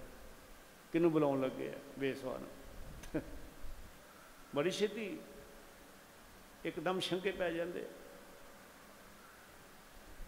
ਮਹਾਪੁਰਸ਼ ਬ੍ਰਹਮ ਗਿਆਨੀ ਸੰਤ ਬਾਬਾ ਭਾਤ ਸਿੰਘ ਜੀ ਕੁਰੀ ਵਾਲੇ ਵਜ਼ੀਰਾਬਾਦ ਗਏ, ਇੱਕ ਵੇਸ਼ਵਾ ਦੇ ਚਬਾਰੇ ਦਰਵਾਜ਼ੇ ਤੇ ਖਲੋ ਗਏ। ਉਹ ਨੌਜਵਾਨ ਜਿਹੜੀ ਵੇਸ਼ਵਾ ਸੀ, ਉਹਦਾ ਦ੍ਰਿਸ਼ਟੀ ਕੀਤੀ। ਜਿਹੜੀ ਬ੍ਰਹਮ ਗਿਆਨੀ ਦੀ ਦ੍ਰਿਸ਼ਟੀ ਹੈ ਨਾ, ਬ੍ਰਹਮ ਗਿਆਨੀ ਦੀ ਦ੍ਰਿਸ਼ਟ ਅੰਮ੍ਰਿਤ ਅੰਮ੍ਰਿਤ ਬਰਸਦਾ ਪਿਆ ਰਿਹਾ। ਇੱਕ ਆਵਾਜ਼ ਦਿੱਤੀ, ਸਤਨਾਮ ਵਾਹਿਗੁਰੂ, ਬਸ ਵਾਪਸ ਆ ਗਏ। ਜੀਵਨ ਬਦਲ ਗਿਆ, ਸਤਸੰਗ ਦਾ ਘਰ ਬਣ ਗਿਆ, ਉਹਦਾ ਪਿਆਰ ਜਦੋਂ ਉਸ ਮਹਾਪੁਰਸ਼ ਨੇ ਬੁਲਾਇਆ, ਸਾਰੇ ਹੈਰਾਨ ਤੇ ਫਿਰ ਉਹ ਮਹਾਪੁਰਸ਼ ਕਹਿੰਦੇ, ਬੇਟੀ ਸਾਡੇ ਵੱਲ ਤੇਰਾ ਆਧਾਰ ਹੈ ਤੇ ਸੰਤ ਆਧਾਰ ਨਹੀਂ ਰੱਖਦੇ। ਅੱਜ ਪੁੱਛ। ਕਹਿੰਦੇ ਜੀ, ਤੁਸੀਂ ਪਹਿਲਾਂ ਕਿਉਂ ਨਹੀਂ ਜਵਾਬ ਦਿੱਤਾ? ਕਹਿੰਦੇ, ਪਹਿਲਾਂ ਮੇਰੇ ਸਵਾਸ ਬਾਕੀ ਸੀ। ਜੇ ਮੈਂ ਕਹਿੰਦਾ ਮੇਰੀ ਦਾੜੀ ਚੰਗੀ, ਮੇਰੇ ਕੋਲੋਂ ਭੁੱਲ ਹੋ ਜਾਂਦੀ, ਤੇ ਫਿਰ ਮੈਂ ਫੇਰ ਹੋ ਜਾਣਾ ਸੀ। ਅੱਜ ਮੈਂ ਸੰਸਾਰ ਤੋਂ ਜਾ ਰਿਹਾ, ਇਹ ਦਾੜੀ ਬੇਦਾਗ, ਜਿਹਨੂੰ ਕੋਈ ਦਾਗ ਨਹੀਂ ਲੱਗਾ। ਇਹ ਦਰਗਾਹ ਵਿੱਚ ਮਾਣ ਪਾਏਗੀ, ਇਹ ਲੱਖਾਂ ਦਾੜੀਆਂ ਨਾਲੋਂ ਦਾੜੀ ਚੰਗੀ ਹੈ। ਉਦੋਂ ਜਵਾਬ ਦਿੱਤਾ। ਕਈ ਜਵਾਬ ਨਾਲ ਦੇ ਨਾਲ ਦੇਣੇ ਪੈਂਦੇ ਆ ਪਿਆਰਿਓ। ਹੁਣ ਮਹਾਪੁਰਸ਼ਾਂ ਨੂੰ ਕਹਿੰਦੇ ਜੀ, ਫੇਰ ਜਦੋਂ ਸਾਰਿਆਂ ਵਿੱਚ ਜੋਤ ਹੈ, ਤੇ ਦੇਵੀ ਦੇਵਤਿਆਂ ਨੂੰ ਮੰਨਣਾ ਕਿਹੜੀ ਮਾੜੀ ਗੱਲ ਹੈ? ਉਹਨਾਂ ਵਿੱਚ ਜੋਤ ਨਹੀਂ। ਤੇ ਮਹਾਪੁਰਸ਼ਾਂ ਨੇ ਪਤਾ ਕੀ ਵਜਨ ਕੀਤਾ? ਕਹਿੰਦੇ, ਫਿਰ ਉਹ ਜੋਤ ਤੇਰੇ ਵਿੱਚ ਵੀ ਹੈ। ਤੈਨੂੰ ਫਿਰ ਦੇਵੀ ਦੇਵਤਿਆਂ ਨੂੰ ਮੰਨਣ ਦੀ ਕੀ ਲੋੜ ਹੈ? ਮਨ ਤੂੰ ਜੋ ਸਰੂਪ ਹੈ ਆਪਣਾ ਮੂਲ ਪਛਾਣ, ਤੂੰ ਆਪਣੇ ਅੰਦਰ ਦੀ ਖੋਜ ਕਰ। ਤੂੰ ਆਪਣੇ ਅੰਦਰ ਦੀ ਖੋਜ ਕਰ ਭਾਈ ਮਹਾਪੁਰਸ਼ਾਂ ਨੇ ਕਿਹਾ। ਸੋ ਪਹਿਲਾਂ ਆਪਣੇ ਅੰਦਰ ਦੀ ਖੋਜ ਕਰਨੀ। ਮਨ ਤੋਂ ਜੋ ਸਰੂਪ ਹੈ, ਆਪਣਾ ਮੂਲ ਪਛਾਣ। ਭਾਈ ਲਾਲੋ, ਕਰ ਧਰਮ ਮਜੂਰੀ ਕਾਇਆ ਪੋਖੀ। ਜੋਗ ਨਾ ਭਗਵੀ ਕਪੜੀ ਜੋਗ ਨਾ ਮੈਲੇ ਵੇਸ਼। ਨਾਨਕ ਘਰ ਬੈਠਿਆਂ ਜੋਗ ਪਾਈਐ। ਸਤਿਗੁਰ ਕੈ ਉਪਦੇਸ਼, ਕਿਸੇ ਖਾਸ ਭੇਖ ਧਾਰ ਕਰਨ ਨਾਲ ਪ੍ਰਾਪਤੀ ਨਹੀਂ ਹੁੰਦੀ। ਨਾਨਕ ਘਰ ਬੈਠਿਆਂ, ਸ੍ਰੀ ਰੂਪੀ ਘਰ ਹੈ। ਇਹਨੂੰ ਨਗਰ ਵੀ ਆਖਿਆ, ਖੇਤ ਵੀ ਆਖਿਆ, ਸਰੀਰ ਵੀ ਆਖਿਆ, ਦੇਹ ਵੀ ਆਖਿਆ, ਇਹਨੂੰ ਪਿੰਡ ਵੀ ਆਖਿਆ, ਘਰ ਵੀ ਆਖਿਆ। ਨਾਨਕ ਘਰ ਬੈਠਿਆਂ ਜੋਗ ਪਾਈਐ, ਪ੍ਰਾਪਤੀ ਹੁੰਦੀ ਹੈ। ਸਤਿਗੁਰ ਕਾ ਉਪਦੇਸ਼, ਗੁਰੂ ਦਾ ਉਪਦੇਸ਼ ਸਾਧ ਸੰਗਤ ਜੀ ਮੰਨ। ਸਤਿਕਾਰਯੋਗ ਬੀਜ ਜੀ ਦਾ ਪਵਿੱਤਰ ਜਨਮ ਦਿਹਾੜਾ ਮਨਾ ਰਹੇ ਆ, ਉਹਨਾਂ ਨੂੰ ਪ੍ਰਾਪਤੀ ਕਿਵੇਂ ਹੋਈ ਹੈ? ਪਿਆਰਿਓ, ਉਹਨਾਂ ਨੇ ਗੁਰੂ ਦਾ ਉਪਦੇਸ਼ ਹਿਰਦੇ ਵਿੱਚ ਵਸਾਇਆ, ਮੰਨਿਆ ਸਾਧ ਸੰਗਤ ਮੰਨਿਆ ਉਹਨਾਂ ਨੇ। ਸੇਵਾ, ਸਿਮਰਨ ਪਰਪਕਾਰ ਦੇ ਕਾਰਜ ਸਾਧ ਸੰਗਤ ਆਪ ਜੁੜੇ ਹੋਰਨਾਂ ਨੂੰ ਉਹਨਾਂ ਨੇ ਜੋੜਿਆ। ਤੇ ਆ ਸਤਿਗੁਰ ਦਾ ਬਚਨ ਹਿਰਦੇ ਵਿੱਚ ਵਸਾਇਆ ਹੈ। ਉਹ ਬਚਨ ਗੁਰਾਂ ਦੇ ਕਮਾਏ ਸੰਗਤ, ਰੱਬ ਮਿਲੇ ਘਰ ਬੈਠਿਆ ਬਚਨ ਗੁਰਾਂ ਦੇ ਕਮਾਏ ਸੰਗਤ, ਰੱਬ ਮਿਲੇ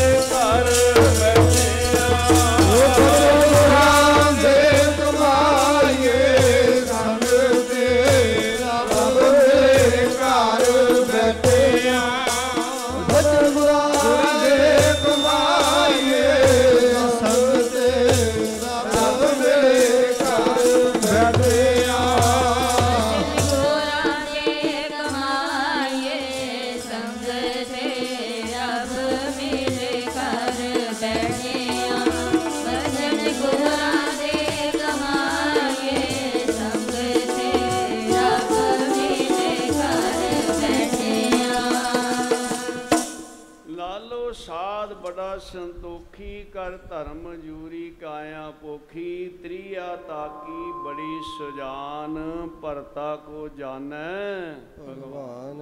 ਕਹਿੰਦੇ ਉਹਨਾਂ ਦੀ ਜਿਹੜੀ ਧਰਮ ਸੁਪਤਨੀ ਸੀ ਨਾ ਬੜੀ ਸਿਆਣੀ ਸੀ ਰੱਬ ਦੇ ਨਾਮ ਵਾਲੀ ਸੀ ਤੇ ਭਰਤਾ ਕੋ ਜਾਣੈ ਭਗਵਾਨ। ਆਪਣੇ ਪਤੀ ਨੂੰ ਭਗਵਾਨ ਕਰਕੇ ਜਾਣਦੀ ਸੀ ਸਾਧ ਸੰਗਤ ਜੀ। ਇਹ ਸੀ ਜੀਵਨ ਦਾ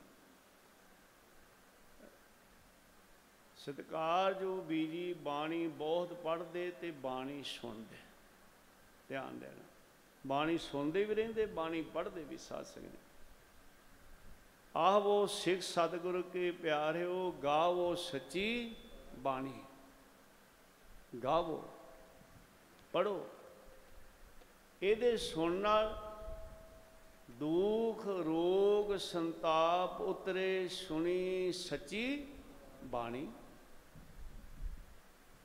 ਜਿਹੜੇ ਭਾਈ ਨਿਤਨੇਮ ਕਰਦੇ ਨੇ, ਵੱਡਿਆਂ ਭਾਗਾਂ ਵਾਲੇ, ਜਿਹੜੇ ਨਹੀਂ ਨਾ ਕਰਦੇ, ਤੇ ਉਹ ਅਰਦਾਸ ਕਰੋ ਵੀ ਸੱਚੇ ਪਾਤਸ਼ਾਹ ਸਾਨੂੰ ਨਿਤਨੇਮ ਬਖਸ਼ ਦਿਓ। ਤੇ ਜਿਹੜੇ ਬਿਲਕੁਲ ਨਹੀਂ ਨਾ ਕਰਦੇ, ਉਹ ਕਮ ਸੇ ਕਮ ਇੰਨਾ ਹੀ ਹੈ ਵੀ ਅਸੀਂ ਆ ਦਿਹਾੜਾ ਮਨਾ ਰਹੇ ਹਾਂ ਤੇ ਅਸੀਂ ਜਪਜੀ ਸਾਹਿਬ ਰੋਜ਼ ਕਰਾਂਗੇ, ਧਿਆਨ ਦੇਣਾ। ਗੁਰੂ ਅਮਰਦਾਸ ਮਾਹਰ ਦੇ ਕੋਲ ਇੱਕ ਲੈ ਆਏ ਕਹਿੰਦੇ ਜੀ ਸਿੱਖ ਹੈ। ਮਾਰੇ ਕਹਿੰਦੇ ਕੀ ਗੱਲ ਹੈ? ਕਹਿੰਦੇ ਜੀ ਇਹਨੂੰ ਪ੍ਰੇਤ ਚੰਬੜਿਆ, ਮਾਰ ਕਹਿੰਦੇ ਬਿਲਕੁਲ। ਗੁਰੂ ਕਾ ਸਿੱਖ ਹੋਵੇ, ਉੱਥੇ ਵਚਨ ਪਤਾ ਕੀ ਆਉਂਦਾ ਮੇਰੇ ਧੰਨ ਗੁਰੂ ਅਮਰਦਾਸ ਮਾਰ ਕਹਿੰਦੇ, ਇਹ ਜਪਜੀ ਸਾਹਿਬ ਨਹੀਂ ਪੜਦਾ ਹੋਏਗਾ। ਜਿਹੜਾ ਸਿੱਖ ਜਪਜੀ ਸਾਹਿਬ ਪੜੇ ਉਹ ਤੇ ਪ੍ਰੇਤਾਂ ਦਾ ਵੀ ਆਧਾਰ ਕਰ ਦਿੰਦਾ ਉਹਨੂੰ ਪ੍ਰੇਤ ਚੰਬਣਾ ਕੀ ਰਿਹਾ? ਕਮ ਸੇ ਕਮ। ਤੇ ਜਿਹੜੇ ਬਾਣੀ ਪੜ੍ਹਨੇ ਨਹੀਂ ਜਾਣਦੇ ਭਾਈ, ਉਹ ਮੂਲ ਮੰਤਰ, ਗੁਰਮੰਤਰ ਦਾ ਜਾਪ ਕਰੋ। ਸਭ ਤੋਂ ਪਹਿਲਾਂ ਤੇ ਗੁਰੂ ਵਾਲੇ ਬਣੋ। ਪਿਆਰੇ ਮਹਾਪੁਰਸ਼ ਤੁਹਾਡਾ ਸਿਆਲ ਨੇ ਬਚਪਨ ਵਿੱਚ ਅੰਮ੍ਰਿਤ ਛਕਿਆ, ਬੀਜੀ ਨੇ ਛੋਟੀ ਉਮਰ 'ਚ ਅੰਮ੍ਰਿਤ ਛਕਿਆ ਭਾਈ, ਪਿਆਰਿਓ। ਭਾਈ ਸਾਹਿਬ, ਭਾਈ ਰਤੀਰ ਸਿੰਘ ਜੀ ਦੀਆਂ ਸੀਸਾਂ ਵੀ ਬਹੁਤ ਲਈਆਂ। ਦਿਹਾੜੇ ਮਨਾਉਣ ਦਾ ਭਾਵ ਹੀ ਇਹ ਹੈ ਵੀ ਅਸੀਂ ਵਿਚਾਰ ਕਰਨੀ ਹੈ। ਮਹਾਂਪੁਰਸ਼ ਕਿਆ ਕਰਦੇ?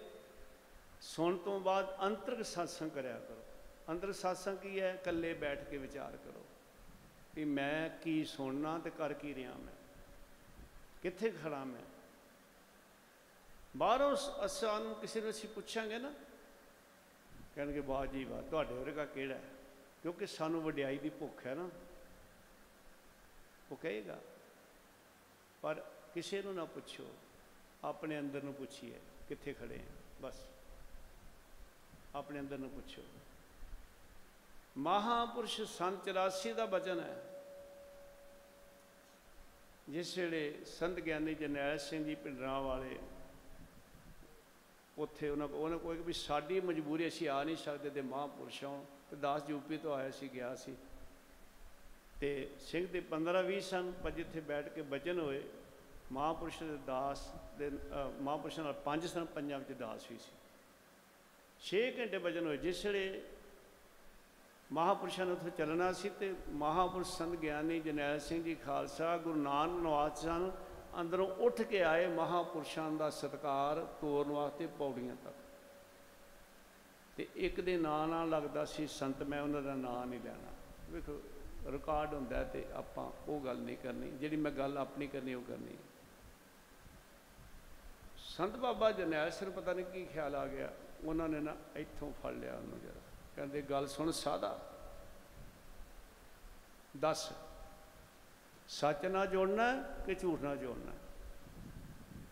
ਗੱਲ ਨਾ ਆਵੇ। ਦੱਸੋ ਸਾਦਾ। ਇਹਨਾਂ ਤੋਂ ਗ੍ਰਿਸ਼ਤੀ ਹੋ ਜਾਣਾ ਤੂੰ। ਘਰ ਹੀ ਰਹਿਣਾ ਤੂੰ। ਥੋੜੇ ਜਿਹੇ ਬਚਨ ਐਸੇ ਕੀਤੇ ਕਰ। ਦੱਸ, ਸੱਚ ਨਾਲ ਜੋੜਨਾ ਕਿ ਝੂਠ ਨਾਲ ਜੋੜਨਾ? ਜਦ ਨਾ ਨਾ ਬੋਲੇ ਤੇ ਆਪਣੇ ਮਾਂ ਪੁਰਸ਼ ਨੂੰ ਪਤਾ ਕੀ ਕਹਿੰਦੇ? ਕਹਿੰਦੇ, ਬਾਬਾ ਜੀ, ਇਹ ਹੁਣ ਬੋਲਦਾ ਨਹੀਂ। ਜਿਹੜਾ ਉੱਥੇ ਵਜਨ ਮਹਾਪੁਰਸ਼ਾਂ ਨੇ ਕਿਹਾ, ਮਹਾਪੁਰਸ਼ਾਂ ਨੇ ਉਸ ਸੰਤ ਦੇ ਹੱਥ ਇੱਥੇ ਲਾ ਕੇ ਪਤਾ ਕੀ ਕਿਹਾ? ਕਹਿੰਦੇ, ਇੱਥੇ ਸੱਚ ਹੈ, ਪਰ ਬਾਹਰ ਨਹੀਂ ਆ ਰਿਹਾ। ਅੰਦਰ ਸੱਚ ਹੈ ਜਿਹੜੇ ਮੈਂ ਮਹਾਪੁਰਸ਼ ਕਹਿੰਦੇ, ਉਹ ਕਹਿੰਦੇ, ਬਾਬਾ ਜੀ, ਕਹੋ ਹੁਣ, ਇਹਨਾਂ ਨੂੰ ਬੋਲਣ ਤੇ ਸਹੀ। ਤੇ ਮਹਾਪੁਰਸ਼ ਉਹਨਾਂ ਦੇ ਹੱਥ ਲਾ ਕੇ ਨਾ ਇੱਥੇ, ਕਹਿੰਦੇ, ਇੱਥੇ ਤੇ ਸੱਚ ਹੈਗਾ ਪਰ ਬਾਹਰ ਨਹੀਂ ਆ ਰਿਹਾ, ਜ਼ਬਾਨ ਤੋਂ ਨਹੀਂ ਬੋਲਿਆ ਜਾ ਰਿਹਾ। ਮੈਂ ਬੇਨਤੀ ਕਰ ਰਿਹਾ, ਆਪਣੇ ਅੰਦਰ ਸੱਚ ਹੈ। ਬਾਹਰ ਨਿੰਦਿਆ ਵੀ ਹੋਵੇ, ਪਰਵਾਹ ਨਹੀਂ। ਉਸ ਤੇ ਨਿੰਦਾ, ਦੋ ਤਿਆਗੈ ਖੋਜੈ ਪੰਦਰ ਬਨ। ਪਰ ਜਿਹੜੀ ਨਿੰਦਿਆ ਨਾਲ ਗੁਰਮਤ ਦੇ ਪ੍ਰਚਾਰ 'ਚ ਫ਼ਰਕ ਪਵੇ, ਉੱਥੇ ਜਵਾਬ ਦੇਣਾ ਪੈਂਦਾ ਪਿਆ ਉਹ ਵੈਸੇ ਕੋਈ ਨਹੀਂ, ਹਮ ਨਹੀਂ ਚੰਗੇ, ਬੁਰਾ ਨਹੀਂ, ਕੋਈ ਪ੍ਰੰਤ ਨਾਨਕ ਤਾਰੇ ਸੋ ਬਾਹਰ ਦੀ ਵਡਿਆਈ ਬਾਹਰਲੀ ਨਿੰਦਿਆ, ਇਸ ਤੋਂ ਉੱਪਰ ਹਨ ਮਹਾ ਰੱਬ ਦੇ ਪਿਆਰੇ। ਮੈਂ ਬੇਨਤੀ ਕਰ ਰਿਹਾ ਸੀ, ਕਿਸੇ ਨੂੰ ਪੁੱਛਣ ਦੀ ਬਜਾਏ ਆਪਣੇ ਆਪ ਨੂੰ ਅੰਦਰ ਪੁੱਛ ਲਈਏ ਸਾਥ ਵੀ ਅਸੀਂ ਕਿੱਥੇ ਗਏ? ਅੰਤਰ ਸਾਸਨ ਦਾ ਭਾਵ ਹੈ ਮਹਾਂਪੁਰਸ਼ ਕਿਆ ਕਰਦੇ, ਇਕੱਲੇ ਬੈਠ ਕੇ ਵਿਚਾਰ ਕਰੋ, ਕਿੰਨਾ ਸਮਾਂ ਹੋ ਗਿਆ ਦੀਵਾਨ ਸੁਣਦਿਆਂ ਗੁਰੂ ਵਾਲੇ ਬਣਿਆ, ਕਿੰਨਾ ਸਮਾਂ ਹੋ ਗਿਆ, ਕਿੰਨੀ ਕੁ ਭਾਈ ਸੀ ਤਰੱਕੀ ਕੀਤੀ ਹੈ, ਸਾਨੂੰ ਐਸੇ ਮਹਾਂਪੁਰਸ਼ ਮਿਲੇ। ਪੂਰਨ ਮਹਾਂਪੁਰਸ਼। ਇਹ ਵੀ ਭਾਗਾਂ ਦੀ ਨਿਸ਼ਾਨੀ ਹੈ ਸਾਧ ਸੰਗਤ ਜੀ, ਚੰਗੇ ਭਾਗ।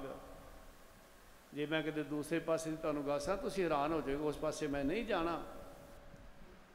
ਸਾਨੂੰ ਐਸੇ ਮਹਾਪੁਰਸ਼ ਜਿਹੜੇ ਮਿਲੇ ਆ, ਕਮਾਈ ਵਾਲੇ ਮਹਾਪੁਰਸ਼। ਡਾਕਟਰ ਸਵਾਮੀ ਰਾਮ ਜੀ ਨੇ ਕਿੰਨਾ ਸਤਿਕਾਰ ਕੀਤਾ, ਸਤਿਕਾਰਯੋਗ ਬੀਜੀ ਦਾ। ਪਿਆਰ ਲਿਆ ਨਾ ਉਹਨਾਂ ਤੋਂ।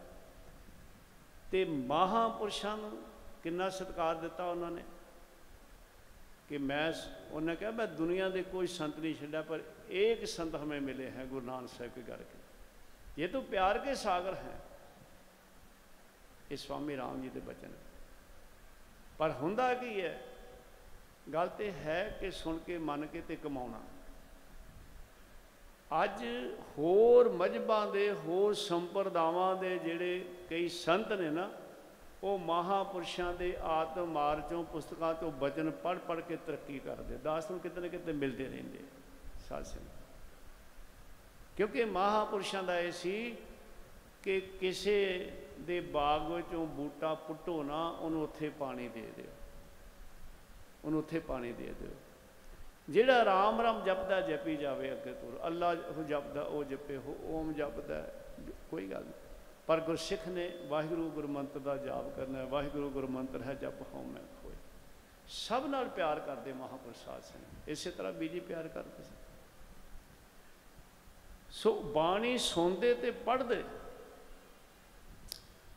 ਧੰਨ ਗੁਰੂ ਸ਼ਾਹ ਮਹਾਰਾਜ ਜੀ ਨੂੰ ਗੁਰਸਿੱਖਾਂ ਕਿਹਾ, ਸੱਚੇ ਪਾਤਸ਼ਾਹ, ਜਿਸ ਵੇਲੇ ਗੁਰਸਿੱਖ ਨਾਮ ਜਪਣ ਲੱਗ ਪਿਆ, ਫੇਰ ਵੀ ਬਾਣੀ ਪੜ੍ਹਨ ਦੀ ਲੋੜ ਹੈ। ਤੇ ਬੜਾ ਪਿਆਰਾ ਬਚਨ ਆਉਂਦਾ ਗੁਰੂ ਸ਼ਾਹ ਮਹਾਰਾਜ ਕਹਿੰਦੇ, ਸਿੱਖੋ ਬਾਣੀ ਧਰਤੀ ਨਾਮ ਬਿਰਸ਼ ਧਿਆਨ ਦੇਣਾ। ਇਹ ਧਰਤੀ ਨਹੀਂ ਹੋਏਗੀ ਤੇ ਬਿਰਸ਼ ਕਿੱਥੋਂ ਹੋਏਗਾ? ਬਾਣੀ ਧਰਤੀ ਨਾਮ ਬਿਰਸ਼ ਗੁਰਸਿੱਖ ਨੇ ਬਾਣੀ ਨਹੀਂ ਛੱਡਣੀ। ਦੂਸਰਾ ਮਹਾਪੁਰਸ਼ਾਂ ਦਾ ਬਚਨ ਹੈ ਅੱਜ ਮੈਂ ਕਣਕ ਦੀ ਫਸਲ ਹੁੰਦੀ ਹੈ ਬਾਣੀ ਨਾੜ ਤੇ ਨਾਮ ਸਿੱਟਾ। ਸਿੱਟਾ ਵੀ ਕਹਿੰਦੇ ਆ, ਬੱਲੀ ਵੀ ਕਹਿੰਦੇ ਆ ਆਪਾਂ ਅੱਡ ਅੱਡ ਬੋਲੀਆਂ ਨੇ। ਬਾਣੀ ਨਾੜ, ਥੱਲੇ ਜਿਹੜਾ ਨਾੜ ਤੇ ਨਾਮ ਸਿੱਟਾ। ਇਸ ਕਰਕੇ ਗੁਰਸਿੱਖ ਨੇ ਬਾਣੀ ਨਹੀਂ ਛੱਡਣੀ। ਅੱਠਵੇਂ ਸਤਿਗੁਰੂ ਸੱਚੇ ਪਾਤਸ਼ਾਹ ਦਾ ਬਚਨ ਜਦੋਂ ਆਪ ਜੀ ਕੀਰਤਪੁਰ ਸਾਹਿਬ ਤੋਂ ਦਿੱਲੀ ਨੂੰ ਚੱਲੇ ਨੇ, ਪਹਿਲਾਂ ਤੇ ਜਵਾਬ ਦਿੱਤਾ ਸੀ ਰੰਗ ਜੇ ਨੂੰ ਨਹਿ ਮਲੇਸ਼ ਕੋ ਦਰਸ਼ਨ ਦੇ ਹੈ ਤੇ ਮਿਰਜ਼ਾ ਜੈ ਸਿੰਘ ਦੀ ਬੇਨਤੀ ਮੰਨ ਕੇ ਚੱਲੇ ਵੀ ਸੰਗਤ ਨੂੰ ਦਰਸ਼ਨ ਦੇਾਂਗੇ ਰੰਗਜੀਤ ਨੂੰ ਦਰਸ਼ਨ ਨਹੀਂ ਦੇਣੇ। ਸਰਸਾ ਤੱਕ ਸਾਰੀ ਸੰਗਤ ਆ ਗਈ। ਭਾਈ ਬਾਸੂਰ ਸੱਚੇ ਪਾਤਸ਼ਾਹ ਜੀ ਤੋਂ ਬਗੈਰ ਅਸੀਂ ਰਹਿ ਨਹੀਂ ਸਕਦੇ। ਤੇ ਉੱਥੇ ਪਿਆਰਾ ਬਚਨ ਹੁੰਦਾ, ਜਿਹੜਾ ਗੁਰਸਿੱਖ ਅੰਮ੍ਰਿਤ ਵੇਲੇ ਉੱਠੇਗਾ, ਇਸ਼ਨਾਨ ਕਰੇਗਾ, ਨਾਮ ਜਪੇਗਾ ਭਾਵਨਾ ਨਾਲ ਬਾਣੀ ਪੜ੍ਹੇਗਾ, ਧਰਮ ਦੀ ਕਿਰਤ ਕਰੇਗਾ, ਉਸ ਨੂੰ ਸਾਰੇ ਨਿਤ ਦਰਸ਼ਨ ਹੋਣਗੇ। ਮਹਾਪੁਰਸ਼ਾਂ ਨੇ ਧਰਮ ਦੀ ਕਿਰਤ ਕੀਤੀ ਹੈ। ਬਹੁਤ ਛੋਟੀ ਉਮਰ ਵਿੱਚ ਹਲ ਵੀ ਵਾਏ ਜੇ ਤਮੋਟ ਦੱਸਿਆ ਕਰਦੇ ਆਪ ਟਰੈਕਟਰ ਤੇ ਫਿਰ ਬਾਅਦ ਜਗ ਜੂਪੀ ਬਣ ਸਕੂਲ ਦੀ ਪੜ੍ਹਾਈ ਵੀ ਕੀਤੀ। ਫਿਰ ਬਾਅਦ ਸਿੰਧ ਵਿੱਚ ਜਾ ਕੇ ਵੀ ਆਪ ਜੀ ਨੇ ਖੇਤੀ ਕੀਤੀ। ਫਿਰ ਸਮਾਂ ਆਇਆ, ਆਰਮੀ ਵਿੱਚ ਰਹੇ ਸੈਕਟਰੀਟ ਰਹੇ, ਯੂਪੀ ਆਪ ਟਰੈਕਟਰ ਚਲਾਉਂਦੇ ਰਹੇ, ਮਹਾਪੁਰਸ਼ ਧਰਮ ਦੀ ਕਿਰਤ ਕਰਨ। ਕਿਉਂਕਿ ਉਹਨਾਂ ਦੇ ਜੀਵਨ ਸਤਕਾਰ ਜੋ ਮਹਾ ਮਹਾਰਾਜ ਜੀ ਤੇ ਸਤਕਾਰਯੋਗ ਵੀ ਜੀ ਉਹਨਾਂ ਦੇ ਜੀਵਨ ਤੋਂ ਜੋ ਗੁਰੂ ਨਾਨਕ ਸਾਹਿਬ ਨੇ ਸੰਸਾਰ ਦੇ ਉੱਤੇ ਉਪਦੇਸ਼ ਦਿੱਤਾ ਹੈ, ਬੇਅੰਤ ਬਖਸ਼ਾਂ ਕੀ ਤੇ ਜੇ ਕਰਨਾ, ਨਾਮ ਜੰਮਣਾ ਤੇ ਵੰਡ ਛਕਣਾ, ਇਹ ਆਪ ਜੀ ਦੇ ਵੀ ਜੀਵਨ ਦੇ ਇੱਕ ਅਮੋਲਕ ਗੁਣ ਸਨ। ਉਹ ਕਿਰਤ ਕਰਨੀ ਤੇ ਵੰਡ ਕੇ ਛਕਣਾ, ਨਾਮ ਜਪਣਾ ਵਾਹਿਗੁਰੂ।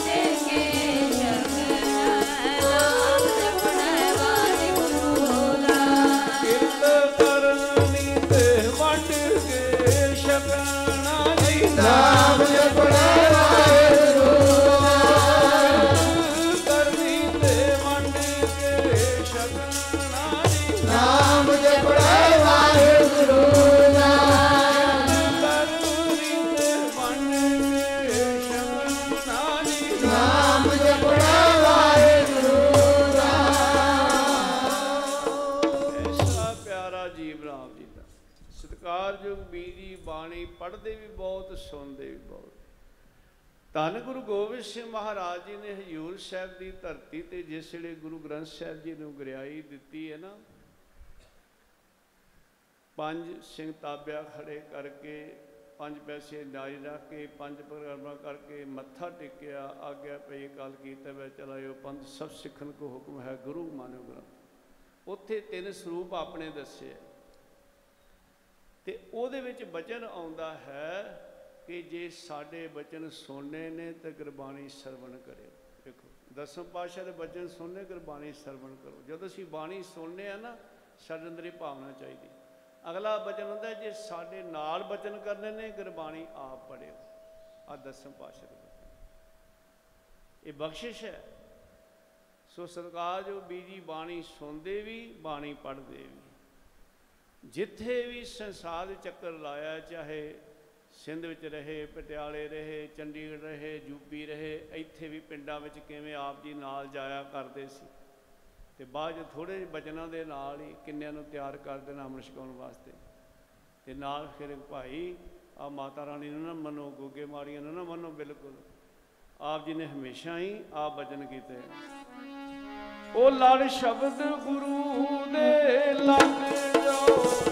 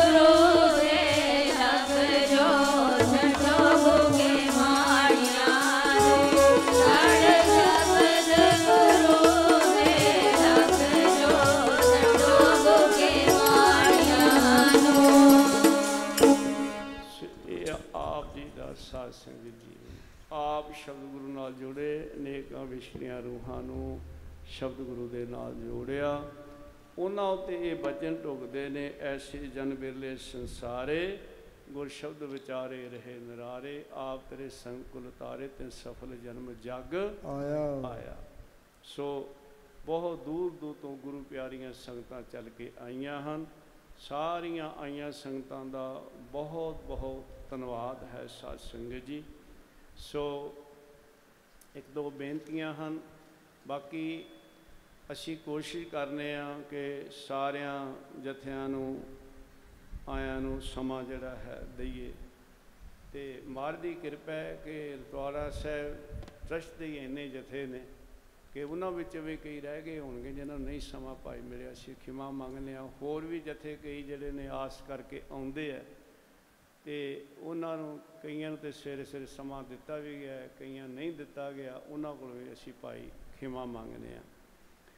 ਸੋ ਇੱਕ ਦੋ ਬੇਨਤੀਆਂ ਹਨ, ਇੱਕ ਤੇ ਹੈ ਕਿ ਰਤਵਾੜਾ ਸਾਹਿਬ ਦੇ ਕਾਲਜਾਂ ਵਿੱਚ ਦਾਖਲਾ ਲੈਣ ਦੇ ਸੰਬੰਧੀ ਭਾਈ ਸੁਖਿੰਦਰ ਸਿੰਘ ਨੇ ਪਹਿਲਾਂ ਬੇਨਤੀ ਕਰ ਦਿੱਤੀ ਹੈ, ਬੀਐਡ, ਐਮ ਕਾਲਜ ਜਿਹਦੇ ਵਿੱਚ ਐਮਏ ਐਜੂਕੇਸ਼ਨ ਅਤੇ ਨਰਸਿੰਗ ਕਾਲਜ ਵਿੱਚ ਬੱਚਿਆਂ ਨੂੰ ਦਾਖਲਾ ਕਰਾਓ। ਦੋ ਸਕੂਲ ਹਨ, ਦੋ ਕਾਲਜ ਹਨ, ਸਕੂਲਾਂ ਦੇ ਰਿਜ਼ਲਟ ਵੀ ਬਹੁਤ ਚੰਗੇ ਆ ਰਹੇ ਨੇ। ਬੀਐਡ ਕਾਲਜ ਦਾ ਵੀ ਜਿਹੜਾ ਰਿਜ਼ਲਟ ਹੈ, ਬਹੁਤ ਚੰਗਾ ਹੈ। ਨਰਸਿੰਗ ਕਾਲਜ ਜਿਹੜਾ ਹੈ ਉੱਥੇ ਪੂਰੀ ਤਿਆਰੀ ਕੀਤੀ ਜਾਂਦੀ ਹੈ। ਆਉਣ ਵਾਲੇ ਟਾਈਮ ਦੇ ਵਿੱਚ ਇਹ ਸਾਰੇ ਕਾਲਜ ਸਕੂਲਾਂ ਦੇ ਰਿਜ਼ਲਟ ਬਹੁਤ ਚੰਗੇ ਆਉਣ। ਸੋ ਗੁਰੂ ਮਹਾਰਾਜ ਕਿਰਪਾ ਕਰੇ, ਉਹਨਾਂ ਸੱਤ ਪੁਰਸ਼ਾਂ ਨੇ ਗੁਰੂ ਗ੍ਰੰਥ ਸਾਹਿਬ ਦਾ ਉਹ ਟਾਸਰ ਲੈ ਕੇ ਸ਼ੁਰੂ ਕੀਤੇ ਹੈ। ਆਪਾਂ ਸਾਰੇ ਸੇਵਾਦਾਰ ਆਪਣੇ ਆਪਣੇ ਜ਼ਿੰਮੇਵਾਰੀਆਂ ਸਮਝੀਏ। ਬਹੁਤ ਥੋੜੇ ਖਰਚੇ ਤੇ ਹੋਸਟਲ ਦੀ ਇੱਥੇ ਸਹੂਲਤ ਹੈ ਤੇ ਧਾਰਮਿਕ ਮਾਹੌਲ ਹੈ। ਬੱਚਿਆਂ ਨੂੰ ਕੀਰਤਨ ਸਿਖਾਇਆ ਜਾਂਦਾ ਹੈ। ਸਾਧ ਸੰਗਤ ਜੀ, ਸਕੂਲਾਂ ਵਿੱਚ ਤਾਂ ਕਾਫੀ ਜਪਜੀ ਸਾਹਿਬ ਪੜ੍ਹ ਕੇ ਅਰਦਾਸ ਹੋ ਕੇ ਹੀ ਫਿਰ ਸਾਧ ਸੰਗਤ ਦੀ ਪੜ੍ਹਾਈ ਸ਼ੁਰੂ ਹੁੰਦੀ ਹੈ, ਕੀਰਤਨ ਦਾ ਪੀਰੀਅਡ ਵੀ ਲੱਗਦਾ ਹੈ। ਇਸੇ ਤਰ੍ਹਾਂ ਕਾਲਜ ਦੇ ਜਿਹੜੇ ਬੱਚੇ ਹਨ ਕਿ ਉਹਨਾਂ ਦਾ ਵੀ ਧਾਰਮਿਕ ਜੀਵਨ ਹੋਵੇ। ਇਹ ਕਾਲਜ ਸਕੂਲ ਇੱਥੇ ਇਹਨਾਂ ਸਥਾਨਾਂ ਤੇ ਚਲਾਉਣ ਦਾ ਜਿਹੜਾ ਭਾਵ ਹੈ, ਬੇਨਤੀ ਕਰਾਂ, ਬੜੇ ਬੜੇ ਸਕੂਲ ਕਾਲਜ ਨੇ। ਪਰ ਇੱਥੇ ਸਕੂਲਾਂ, ਕਾਲਜਾਂ ਦਾ ਮਤਲਬ ਹੈ ਜਿਹੜੇ ਇੱਥੇ ਦੇ ਬੱਚੇ ਹਨ, ਉਹਨਾਂ ਦਾ ਜੀਵਨ ਧਾਰਮਿਕ ਹੋਵੇ ਤੇ ਪੜ੍ਹਾਈ ਵਿੱਚ ਵੀ ਉਹ ਸਾਧ ਸੰਗਤ ਜੀ ਚੰਗੀਆਂ ਮੱਲਾਂ ਮਾਰਨ। ਕੱਲ ਨੂੰ 9 ਅਗਸਤ ਦਾ ਦੀਵਾਨ ਜਿਹੜਾ ਹੈ, ਦੂਸਰੇ ਸ਼ੁੱਕਰਵਾਰ ਜਿਵੇਂ ਹੁੰਦਾ ਧਮੂਟ ਹੈ 11 ਤੋਂ 2 ਔਰ ਕੱਲ ਰਾਤ ਦਾ ਹੀ ਦੀਵਾਨ ਜਿਹੜਾ ਹੈ, ਫਰੀਦਕੋਟ ਮਹੀਨੇ ਬਾਅਦ ਹੁੰਦਾ ਹੈ। ਉਹ 7 ਵਜੇ ਤੋਂ 10 ਵਜੇ ਤੱਕ ਹੈ। ਤੇ 10 ਤਰੀਕ ਨੂੰ ਨੀਲੋ ਦੇ ਸਥਾਨ ਤੇ ਮਹੀਨੇ ਬਾਅਦ ਪ੍ਰੋਗਰਾਮ ਹੁੰਦਾ ਹੈ 11 ਤੋਂ ਲੈ ਕੇ 3 ਵਜੇ ਤੱਕ ਹੈ। ਤੇ 11 ਅਗਸਤ ਨੂੰ ਐਤਵਾਰ ਹੈ ਤੇ ਸਾਰੇ ਬੈਠੇ ਹੀ ਨੇ। ਐਤਵਾਰ 4 ਤਰੀਕ ਨੂੰ ਆਪਾਂ ਇੱਕ ਮੀਟਿੰਗ ਰਸਤੀ ਕਰਨੀ ਹੈ। ਉਹਦੇ ਵਿੱਚ ਕਈ ਵਿਚਾਰਾਂ ਕਰਨੀਆਂ। ਮੇਰੀ ਸਾਰੇ ਟਰਸਟੀ ਨੂੰ ਬੇਨਤੀ ਹੈ, ਮੈਸੇਜ ਵੀ ਭੇਜ ਦਿਓ ਤੇ ਆਪਾਂ 4 ਵਜੇ ਇੱਕ ਮੀਟਿੰਗ ਕਰਨੀ ਹੈ। ਉਸ ਤੋਂ ਬਾਅਦ ਫਿਰ ਅੱਗੇ ਸਮਾਗਮ ਦੀ ਮੀਟ ਦਾ ਨਾਲ ਜਿਹੜਾ ਉਹ ਰੱਖਿਆ ਜਾਏਗਾ। ਬਾਅਦ ਦੇ ਵਿੱਚ 12 ਅਗਸਤ ਨੂੰ ਚਾਮਪੁਰ ਜਥੇਦਾਰ ਭਾਈ ਨਸੀਬ ਸਿੰਘ ਜੀ ਦਾ ਸਲਾਨੀ ਸਲਾਨਾ ਯਾਦ ਹੈ। ਉਹਨਾਂ ਦੇ ਪਿੰਡ 11 ਤੋਂ ਲੈ ਕੇ 1 ਵਜੇ ਤੱਕ ਪ੍ਰੋਗਰਾਮ ਹੈ। 15 ਅਗਸਤ ਨੂੰ ਭਾਈ ਜਸਵਿੰਦਰ ਸਿੰਘ ਜੀ ਨੇ ਆਪ ਜੀ ਨੂੰ ਦੱਸਿਆ ਹੀ ਹੈ ਕੋਲਾ ਜੀ ਨੇ 781 ਥ੍ਰੀ ਬਿਊਨ ਮਹਾਪੁਰਸ਼ਾਂ ਦਾ ਜੋ ਗ੍ਰਹਿ ਹੈ, ਜਿੱਥੇ ਕਈ ਸਾਲ ਆਪ ਜੀ ਰਹੇ, ਤੇ 15 ਅਗਸਤ ਨੂੰ ਉੱਥੇ ਪ੍ਰੋਗਰਾਮ ਹੈ, ਜਿਵੇਂ ਮਹਾਪੁਰਸ਼ਾਂ ਦਾ ਜਦੋਂ 17 ਜੂਨ ਦਾ ਬਾਅਦ ਉੱਥੇ ਰੱਖਿਆ ਜਾਂਦਾ, ਇਸੇ ਤਰ੍ਹਾਂ ਇੱਥੇ ਆ ਜੋ ਬੀਜ ਦਾ ਦਿਹਾੜਾ ਆਪਾਂ 8 ਅਗਸਤ ਨੂੰ ਮਨਾਇਆ, ਉਹਦੇ ਨਾਲ ਫਿਰ ਕੁਝ ਦਿਨ ਰੱਖਿਆ ਜਾਂਦਾ। ਤੇ ਉੱਥੇ ਸਮਾਂ 11 ਤੋਂ ਲੈ ਕੇ 2 ਵਜੇ ਤੱਕ ਹੈ 15 ਅਗਸਤ ਨੂੰ। ਤੇ ਆਖਰੀ ਸ਼ਨੀਵਾਰ ਸ਼ਾਮ ਦਾ ਪ੍ਰੋਗਰਾਮ ਜਿਹੜਾ ਹੈ, ਉਹ ਚੱਲਦਾ ਰਹਿਣਾ ਭਾਈ, ਉਹ ਜਿਹੜਾ ਰੱਖਿਆ, ਉਹਦੇ ਕਿਸੇ ਨੂੰ ਸ਼ੰਕੇ ਦੀ ਲੋੜ ਨਹੀਂ।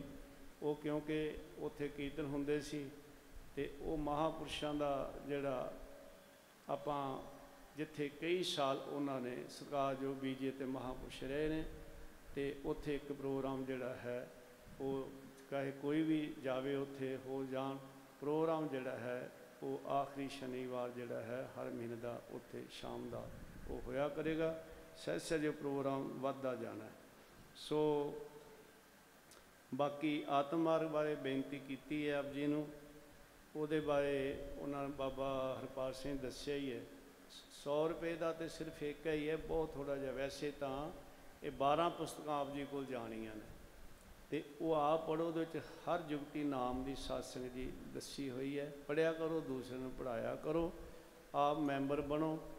ਉਹ, ਉਹਦੇ ਵਿੱਚ ਅਸੀਂ ਇਹ ਕੋਈ ਪ੍ਰੋਫਿਟ ਵਾਸਤੇ ਨਹੀਂ। ਇਹ ਤੇ ਸਨ 95 96 97 ਚ 300 ਰੁਪਇਆ ਸੀ ਸਾਧ ਸੰਗਤ ਜੀ। ਫਿਰ ਹੀ ਮਹਾਪੁਰਸ਼ਾਂ ਨੇ ਬਹੁਤ ਥੋੜਾ ਰੱਖਿਆ ਸੀ ਉਸ ਵੇਲੇ।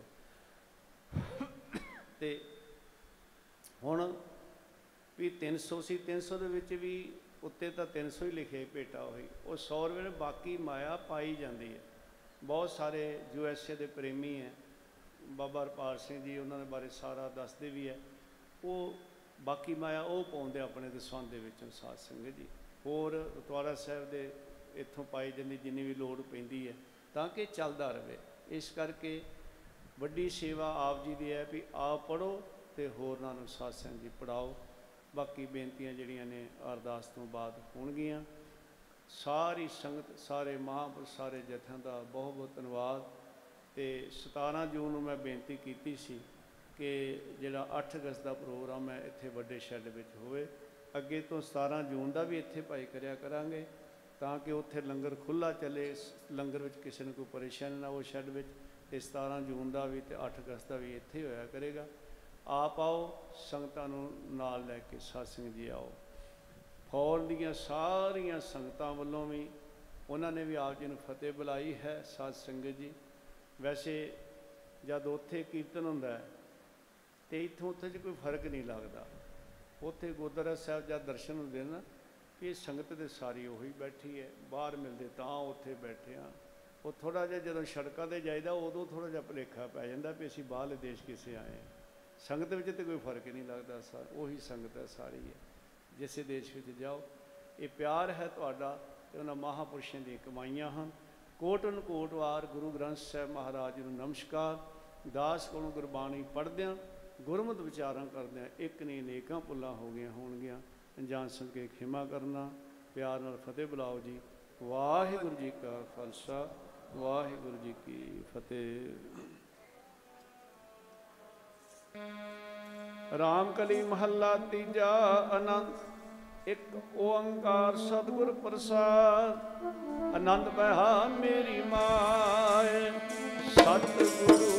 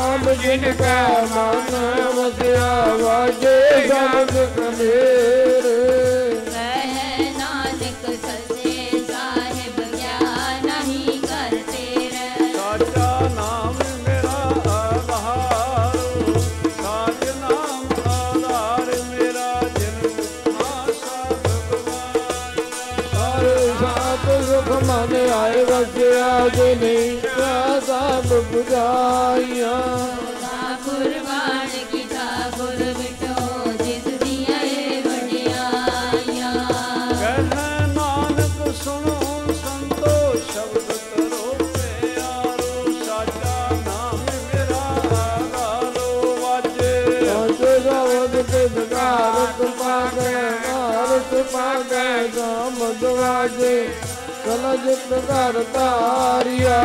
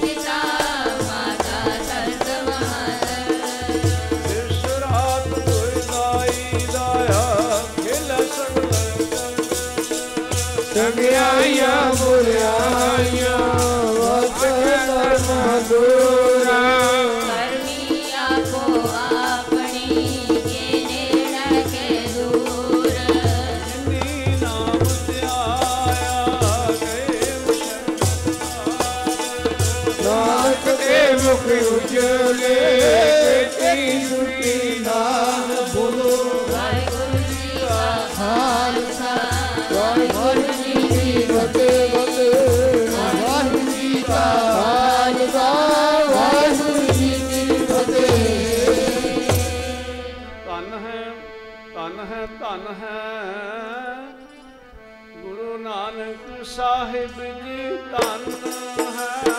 ਧੰਨ ਹੈ ਧੰਨ ਹੈ।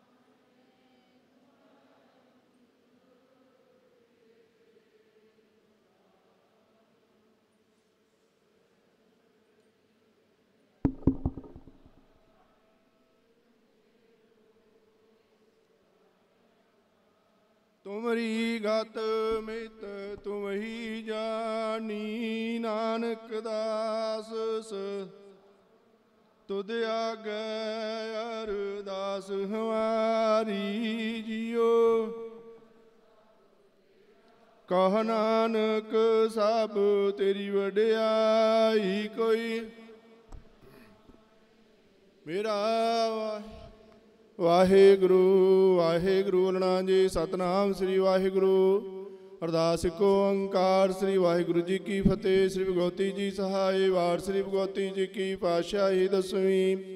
ਫਿਰਥ ਮੁਗਤੇ ਸਿਮਰ ਕੈ, ਗੁਰੂ ਨਾਨਕ ਲਈ ਤੇ ਆਏ ਫਿਰੰਗਦ ਗੁਰ ਤੇ ਅਮਰਦਾਸ, ਰਾਮਦਾਸੈ ਹੋਏ ਸਹਾਈ ਅਰਜਨ ਹਰ ਗੋਬਿੰਦ ਨੋ ਸਿਰੋ, ਸ੍ਰੀ ਹਰ ਰਾਏ ਸ੍ਰੀ ਹਰਿ ਕ੍ਰਿਸ਼ਨ ਧਿਆਈਐ ਜੇ ਡਿਠੈ ਸਭ ਦੁਖ ਜਾਏ।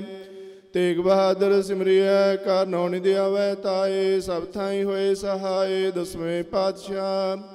ਸਾਹਿਬ ਸ੍ਰੀ ਗੁਰੂ ਗੋਬਿੰਦ ਸਿੰਘ ਮਹਾਰਾਜ ਜੀ, ਸਭ ਥਾਈ ਹੋਏ ਸਹਾਏ, ਦਸਾਂ ਪਾਤਸ਼ਾਹਾਂ ਦੇ ਪਾਵਨ ਸਰੂਪ। ਧੰਨ ਧੰਨ ਸ੍ਰੀ ਗੁਰੂ ਗ੍ਰੰਥ ਸਾਹਿਬ ਜੀ ਦੇ ਪਾਠ ਦਰਸ਼ਨ ਦੀਦਾਰਿਆਂ ਦਾ ਧਿਆਨ ਧਰ ਕੇ ਬੋਲਣਾ ਜੀ। ਆਪ ਜੀ ਦੇ ਪੰਜ ਪਿਆਰੇ, ਚਾਰ ਸਾਹਿਬਜ਼ਾਦੇ 40 ਮੁਕਤਿਆਂ ਹਠੀਆਂ ਜਪੀਆਂ, ਤਪੀਆਂ ਜਿਨ੍ਹਾਂ ਨਾਮ ਜਪਿਆ, ਵੰਡ ਕੇ ਚਕਿਆ ਦੇਖ ਚਲਾਈ ਤੇ ਗਵਾਹੀ ਦੇਖ ਸੁਣ ਕੇ ਅੰਡੜ ਕੀਤਾ। ਤਿਨਾਂ ਪਿਆਰਿਆਂ, ਸਚਿਆਰਿਆਂ ਦੇ ਪਵਿੱਤਰ ਗਵਾਈਆਂ ਦਾ ਧਿਆਨ ਧਰ ਕੇ ਬੋਲਣਾ ਜੀ। ਜਿਨ੍ਹਾਂ ਸਿੰਘਾਂ ਸਿੰਘਣੀਆਂ ਨੇ ਧਰਮ ਹੇਤ ਸੀ ਦਿੱਤੇ ਬੰਦ ਬੰਦ ਕਟਵਾਏ, ਖੋਪਰੀਆਂ ਲਵਾਈਆਂ, ਚਰਕੜੀਆਂ ਤੇ ਚੜੇ। ਤਾਂ ਨਾਰਿਆਂ ਨਾਲ ਚਰਵਾਏ ਮਾਈਆਂ ਬੀਬੀਆਂ ਨੇ ਜੇਲਾਂ ਦੇ ਵਿੱਚ ਸਭਾ ਸਮਣ ਪੀਸਣੇ ਪੀਸੇ। ਕੰਨੀ ਖਨੀ ਟੁਕੜੇ ਤੇ ਗੁਜ਼ਾਰਾ ਕੀਤਾ, ਬੱਚਿਆਂ ਦੇ ਟੋਟੇ ਕਰਵਾ ਕਰਕੇ ਗਲਾਂ ਦੇ ਵਿੱਚ ਹਾਰ ਪਵਾਏ, ਤਰੁ ਨਹੀਂ ਆ ਰਿਹਾ ਅਸਹਿ ਤੇ ਅਕਹਿ ਕਟ ਸਾਰ ਦੇ ਪੰਤਰੀ ਕਰਵਾਨੀਆਂ ਦਿੱਤੀਆਂ, ਆਪ ਜੀ ਦਾ ਭਾਣਾ ਮਿੱਠਾ ਕਰਕੇ ਮਨਿਆ, ਮੁਖੋਂ ਸਿਨਾ ਉਚਾਰੇ। ਤਿਨਾ ਮਾਈਆਂ, ਬੀਬੀਆਂ, ਪਚੰਗੀਆਂ, ਸੋ ਸੰਤਾਂ, ਮਹਾਪੁਰਖਾਂ ਦੀਆਂ ਪਵਿੱਤਰ ਗਵਾਈਆਂ ਦਾ ਧਿਆਨ ਧਰ ਕੇ ਬੋਲਣਾ ਜੀ। ਪੰਜਾਂ ਤਖਤਾਂ, ਸਰਤ ਗੁਰਦੁਆਰਿਆਂ ਦੇ ਦਰਸ਼ਨ ਦੀਦਾਰਿਆਂ ਦਾ ਧਿਆਨ ਧਰ ਕੇ ਬੋਲਣਾ ਜੀ। ਪ੍ਰਥਮੇ ਸਰਬੱਤ ਖਾਲਸਾ ਜੀ ਕੀ ਅਰਦਾਸ ਹੈ ਜੀ। ਸਰਬੱਤ ਖਾਲਸਾ ਜੀ ਕੋ ਵਾਹਿਗੁਰੂ ਵਾਹਿਗੁਰੂ ਵਾਹਿਗੁਰੂ, ਚਿਤ ਆਵੇ। ਚਿਤਾਵਨ ਕਾ ਸਦਕਾ, ਸਰਬ ਸੁਖ ਹੋਵੇ, ਜਹਾਂ ਜਹਾਂ ਗੁਰੂ ਖਾਲਸਾ ਜੀ ਸਾਹਿਬ। ਤਹਾਂ ਤਾਂ ਰਛਿਆਰ ਆਤ ਦੇਗ ਤੇ ਫਤਿਹ ਵਿਰਦ ਕੀ ਪੈਜ ਪੰਥ ਕੀ ਜੀਤ। ਸ੍ਰੀ ਸਾਹਿਬ ਜੀ ਸਹਾਏ ਖਾਲਸਾ ਜੀ ਕੇ ਬੋਲ ਬਾਲੇ ਬੋਲਣਾ ਜੀ। ਬਖਸ਼ੋ ਜੇ ਸਿੱਖਾਂ ਨੂੰ ਸਿੱਖੀ ਦਾਨ, ਕੇਸ ਦਾਨ, ਰਹਿਤ ਦਾਨ, ਵਿਵੇਕ ਦਾਨ, ਵਿਸਾਹ ਦਾਨ, ਭਰੋਸਾ ਦਾਨ, ਦਾਨਾ ਸਰਦਾਨ ਨਾਮ ਦਾਨ।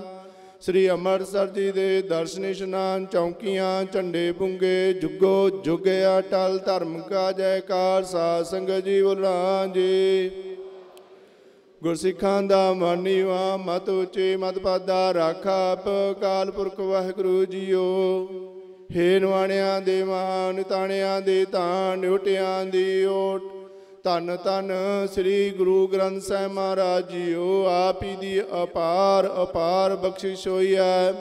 ਸੰਗਤਾਂ ਨੂੰ ਖੁੱਲੇ ਦਰਸ਼ਨ ਦੀਦਾਰੇ ਬਖਸ਼ ਕੇ ਨਿਹਾਲ ਕੀਤਾ ਹੈ। ਆਪ ਜੀ ਵੱਲੋਂ ਬਖਸ਼ੇ ਸਥਾਨਾਂ ਦੇ ਉੱਤੇ। ਗੁਰਦੁਆਰਾ ਈਸ਼ਰ ਪ੍ਰਕਾਸ਼ ਰਤਵਾੜਾ ਸਾਹਿਬ ਵਿਖੇ, ਟਰਸਟ ਰਤਵਾੜਾ ਸਾਹਿਬ ਦੇ ਬਾਨੀ ਸੰਚਾਲਕ ਪਿਆਰੇ ਮਹਾਪੁਰਖਾਂ ਦੇ ਜੀਵਨ ਸਾਥੀ ਸਤਿਕਾਰਯੋਗ ਮਾਤਾ ਰਣਜੀਤ ਕੌਰ ਜੀ ਬੀਜੀ ਦੇ ਜਨਮ ਦਿਨ ਦੀ ਖੁਸ਼ੀ ਵਿੱਚ ਗੁਰਮਤਿ ਸਮਾਗਮ ਕਰਵਾਏ ਗਏ ਹਨ। ਆਪ ਹੀ ਦੀ ਹਜ਼ੂਰੀ ਦੇ ਵਿੱਚ ਕਥਾ, ਕੀਰਤਨ ਵਿਖਿਆਨ ਹੋਏ ਹੋਈਆਂ ਭੁੱਲਾਂ ਖਿਮਾ ਕਰਨੀਆਂ ਦਿੱਤੇ ਗਏ ਉਪਦੇਸ਼ ਜ਼ਿੰਦਗੀ ਦੇ ਅੰਦਰ ਕਮਾਉਣ ਦਾ ਬਲ ਪਿਆਤਸ਼ਾ ਬਖਸ਼ਣਾ ਆਈਆਂ ਸੰਗਤਾਂ ਦੀਆਂ ਹਾਜ਼ਰੀਆਂ, ਲੇਖੇ ਦੇ ਵਿੱਚ ਲਾਉਣੀਆਂ, ਤਿਲ ਫੁੱਲ ਪੇਟਾਵਾਂ, ਦਰ ਤੇ ਪ੍ਰਵਾਨ ਕਰਨੀਆਂ। ਬਹੁਤ ਸਾਰੀਆਂ ਸੰਗਤਾਂ ਵੱਲੋਂ ਇਨ੍ਹਾਂ ਸਮਾਗਮਾਂ ਦੇ ਦੌਰਾਨ ਤਨ ਮਨ ਧਨ ਕਰਕੇ ਗੁਰੂ ਕੇ ਲੰਗਰਾਂ ਵਿੱਚ ਜੋੜਾ ਘਰਾਂ ਵਿੱਚ ਅਨੇਕਾਂ ਤਰ੍ਹਾਂ ਦੀਆਂ ਸੇਵਾਵਾਂ ਕੀਤੀਆਂ ਹਨ। ਸਾਰਿਆਂ ਦੀਆਂ ਸੇਵਾਵਾਂ ਕਾਲਣਾ ਥਾਂ ਪਾਉਣੀਆਂ। ਵਿਗਨਾਂ ਦੇ ਨਾਸ ਭਜਨਵਾਣੀ ਦੇ ਪ੍ਰਤਾਪ ਬਖਸ਼ਣੇ ਅੰਗ ਸੰਗ ਸਹਾਇਤਾ ਕਰਨੀ, ਚੜ੍ਹਦੀਆਂ ਕਲਾ ਬਖਸ਼ਣੀਆਂ, ਮਹਾਪੁਰਖਾਂ ਦੇ ਬਚਨਾਂ ਤੇ ਪਹਿਰਾ ਦੇਣ ਦਾ, ਵਚਨ ਕਮਾਉਣ ਦਾ, ਬਲ, ਪਿਆਰ, ਉਤਸ਼ਾਹ ਬਖਸ਼ਿਸ਼ ਕਰਨਾ, ਟਰਸਟ ਦੇ ਸਮੂਹ ਅਦਾਰਿਆਂ ਨੂੰ, ਕਾਲਜਾਂ, ਸਕੂਲਾਂ ਨੂੰ, ਚੜ੍ਹਦੀਆਂ ਕਲਾ ਬਖਸ਼ਣੀਆਂ, ਸਮੂਹ ਪ੍ਰਬੰਧਕਾਂ, ਸੇਵਾਦਾਰਾਂ ਦੇ ਸਿਰ ਤੇ ਮੇਰਿਆਂ ਪਰੇ ਹੱਥ ਰੱਖ ਕੇ ਐਸੇ ਤਰ੍ਹਾਂ ਆਪ ਇੰਨੇ ਚੜ੍ਹਦੀਆਂ ਕਲਾ ਸੇਵਾਵਾਂ ਲੈਣੀਆਂ ਸਮੂਹ ਸੰਗਤ ਨੂੰ ਆਪ ਹੀ ਨੂੰ ਕੋਟਾਨ ਕੋਟਾਨ ਨਮਸਕਾਰ ਕੀਤੀ ਜਾ ਰਹੀ ਹੈ। ਆਪ ਹੀ ਦੇ ਦਰ ਘਰ ਦੇ ਸੇਵਾਦਾਰ, ਸੰਗਤਾਂ ਦੇ ਪਿਆਰੇ ਮੁਰਖ, ਮਹਾਪੁਰਖ ਜਥੇ ਸਮੇਤ ਕੈਨੇਡਾ ਵਿਖੇ ਗੁਰਮਤ ਪ੍ਰਚਾਰ ਫੇਰੀ ਵਾਸਤੇ ਗਏ ਸਨ। ਆਪ ਹੀ ਨੇ ਕਿਰਪਾ ਕੀਤੀ ਹੈ। ਗੁਰਮਤ ਪ੍ਰਚਾਰ ਫੇਰੀ ਨੂੰ ਚੜ੍ਹਦੀਆਂ ਕਲਾਂ ਬਖਸ਼ਣੀਆਂ, ਇਸੇ ਤਰ੍ਹਾਂ ਆਉਣ ਵਾਲੇ ਸਮੇਂ ਵਿੱਚ ਮਹਾਪੁਰਖਾਂ ਨੂੰ ਪੂਰਾ ਦੇਰੁਗਤਾ ਦੇ ਬਖਸ਼ਿਸ਼ ਰੱਖਣੀ, ਚੜ੍ਹਦੀਆਂ ਕਲਾਂ ਬਖਸ਼ਦੇ ਹੋਏ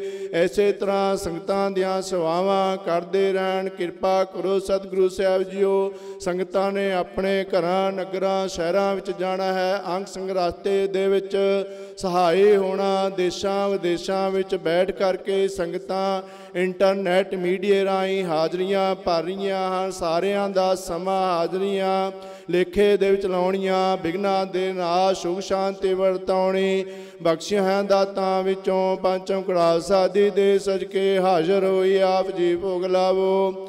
ਭੋਗ ਲਗਿਆ ਸੀਤ ਪ੍ਰਸਾਦ, ਸੋ ਸੰਗਤ ਵਰਤਾਉਣ ਦੀ ਆਗਿਆ ਬਖਸ਼ੋ। ਸੰਗਤਾਂ ਵੱਲੋਂ ਅਰਦਾਸਾਂ ਬੇਨਤੀਆਂ ਹੋਈਆਂ ਹਨ, ਦੇਗਾਂ ਦੀ ਸੇਵਾ ਹੋਈ ਹੈ। ਭਾਈ ਸਾਧੂ ਸਿੰਘ ਗੁਰਸਿੱਕੇ ਜੀਵਨ, ਸਤਿਗੁਰੂ ਸਾਹਿਬ ਜੋ ਸਤ ਸਤੋਲੇ ਦੇ ਦੀ ਸੇਵਾ ਕਰਵਾ ਰਹੇ ਹਨ। ਭਾਈ ਭਵਿੰਦਰ ਸਿੰਘ ਬੀਬੀ ਜਸਪੀਤ ਕੌਰ ਜੀ ਸਤਿਗੁਰੂ ਸਾਹਿਬ ਜੀਓ ਬੀਜੀ ਦੇ ਜਨਮ ਦਿਨ ਦੀ ਖੁਸ਼ੀ ਦੇ ਦੀ ਸੇਵਾ ਕਰਵਾ ਰਹੇ ਹਨ। ਭਾਈ ਹਰਚਰਨ ਸਿੰਘ ਗਾਂਧੀ ਜੀ ਨੇ ਵੀ ਬੀਜੀ ਦੇ ਜਨਮ ਦਿਨ ਦੀ ਖੁਸ਼ੀ ਦੇ ਦੀ ਸੇਵਾ। ਅਮਰਤਪਾਲ ਸਿੰਘ ਬੱਚੇ ਦੇ ਸੰਜੋਗ ਜੁੜਨ ਦੇ ਸਤਿਗੁਰੂ ਸਾਹਿਬ ਜੀਓ, ਰਜਿੰਦਰ ਮਿੰਦਰ ਕੌਰ ਵੱਲੋਂ ਦੇਗ ਦੀ ਸੇਵਾ ਹੋ ਰਹੀ ਹੈ। ਹੋਰ ਵੀ ਸੰਗਤਾਂ ਵੱਲੋਂ ਦੇਰਤਾ ਲਈ ਕਾਰੋਬਾਰ ਦੇ ਵਾਧੇ ਅਨੇਕਾਂ ਤਰ੍ਹਾਂ ਦੀਆਂ ਅਰਦਾਸਾਂ, ਬੇਨਤੀਆਂ ਜੋਦੜੀਆਂ ਹੋਈਆਂ ਹਨ। ਗੁਰਮਤਿ ਅਨੁਸਾਰ ਸਮਨੋ ਕਾਮਨਾ ਸੰਪੂਰਨ ਕਰਨੀਆਂ, ਕਿਰਪਾ ਕਰੋ। ਪਿਆਰੇ ਹੁਕਮਨਾਮੇ ਬਖਸ਼ ਕੇ ਸਾਧ ਸੰਗਤਾਂ ਨਿਹਾਲ ਕਰੋ।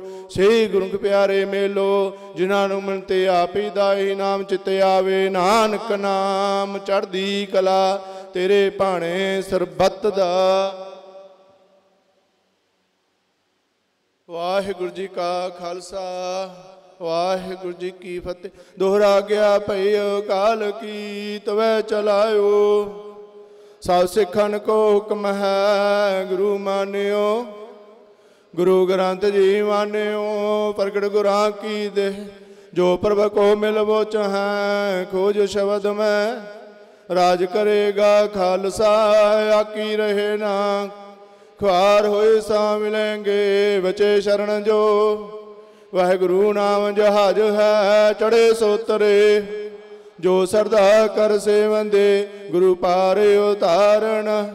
ਜੋ ਸਰਦਾ ਕਰ ਸੇਵੰਦੇ ਗੁਰੂ ਪਾਰੇ ਉਤਾਰਨ ਹਾਰ। ਬੋਲੇ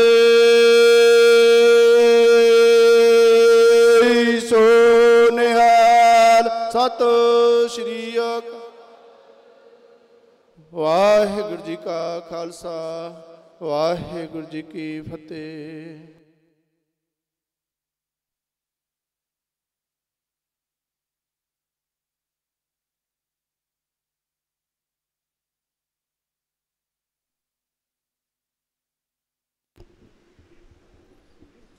ਸਤਨਾਮ।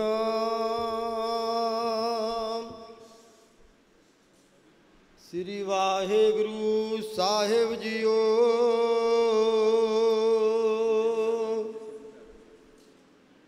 ਮੈਂ ਮੂਰਖ ਕੀ ਕੇ ਤਕ ਬਾਤ ਹੈ? ਕੋਟ ਪਰਾਧੀ ਤਰਿਆਰੇ।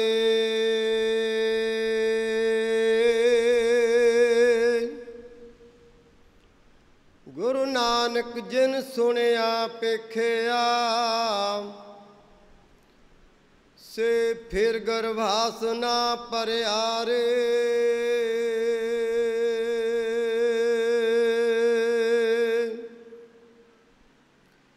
ਵਾਹਿਗੁਰੂ ਜੀ।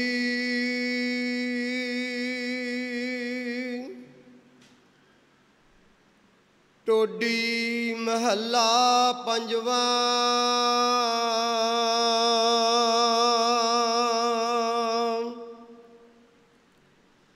ਹਰ ਬਿਸਰਤ ਸਦਾ ਖੁਆਰੀ।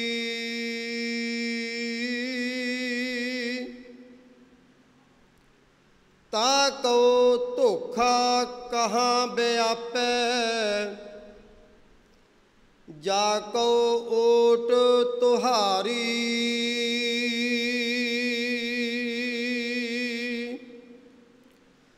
ਹਰ ਬਿਸਰਤ ਸਦਾ ਖੁਆਰੀ।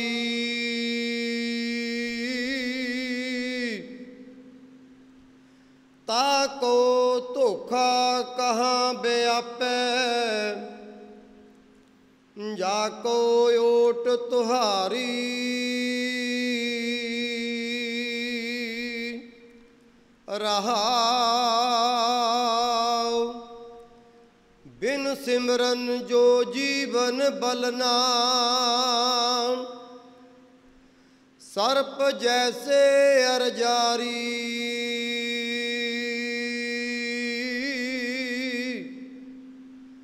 ਨਵ ਖੰਡਨ ਕੋ ਰਾਜ ਕਮਾਵੇ। ਅੰਤ ਚਲੇ ਗੋਹਾਰੀ।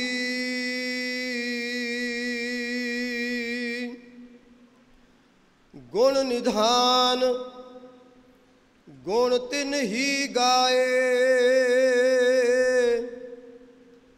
ਜਾ ਕੋ ਕਿਰਪਾ ਧਾਰੀ।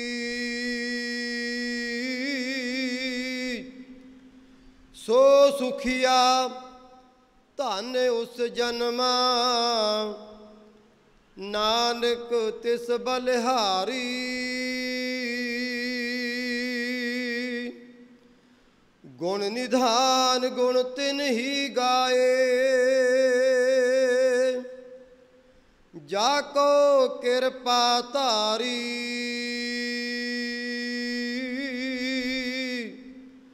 ਸੋ ਸੁਖੀਆ ਧਨ ਉਸ ਜਨਮਾ। ਨਾਨਕ ਤਿਸ ਬਲਿਹਾਰੀ। ਵਾਹਿਗੁਰੂ ਜੀ ਕਾ ਖਾਲਸਾ, ਵਾਹਿਗੁਰੂ ਜੀ ਕੀ ਫਤਿਹ।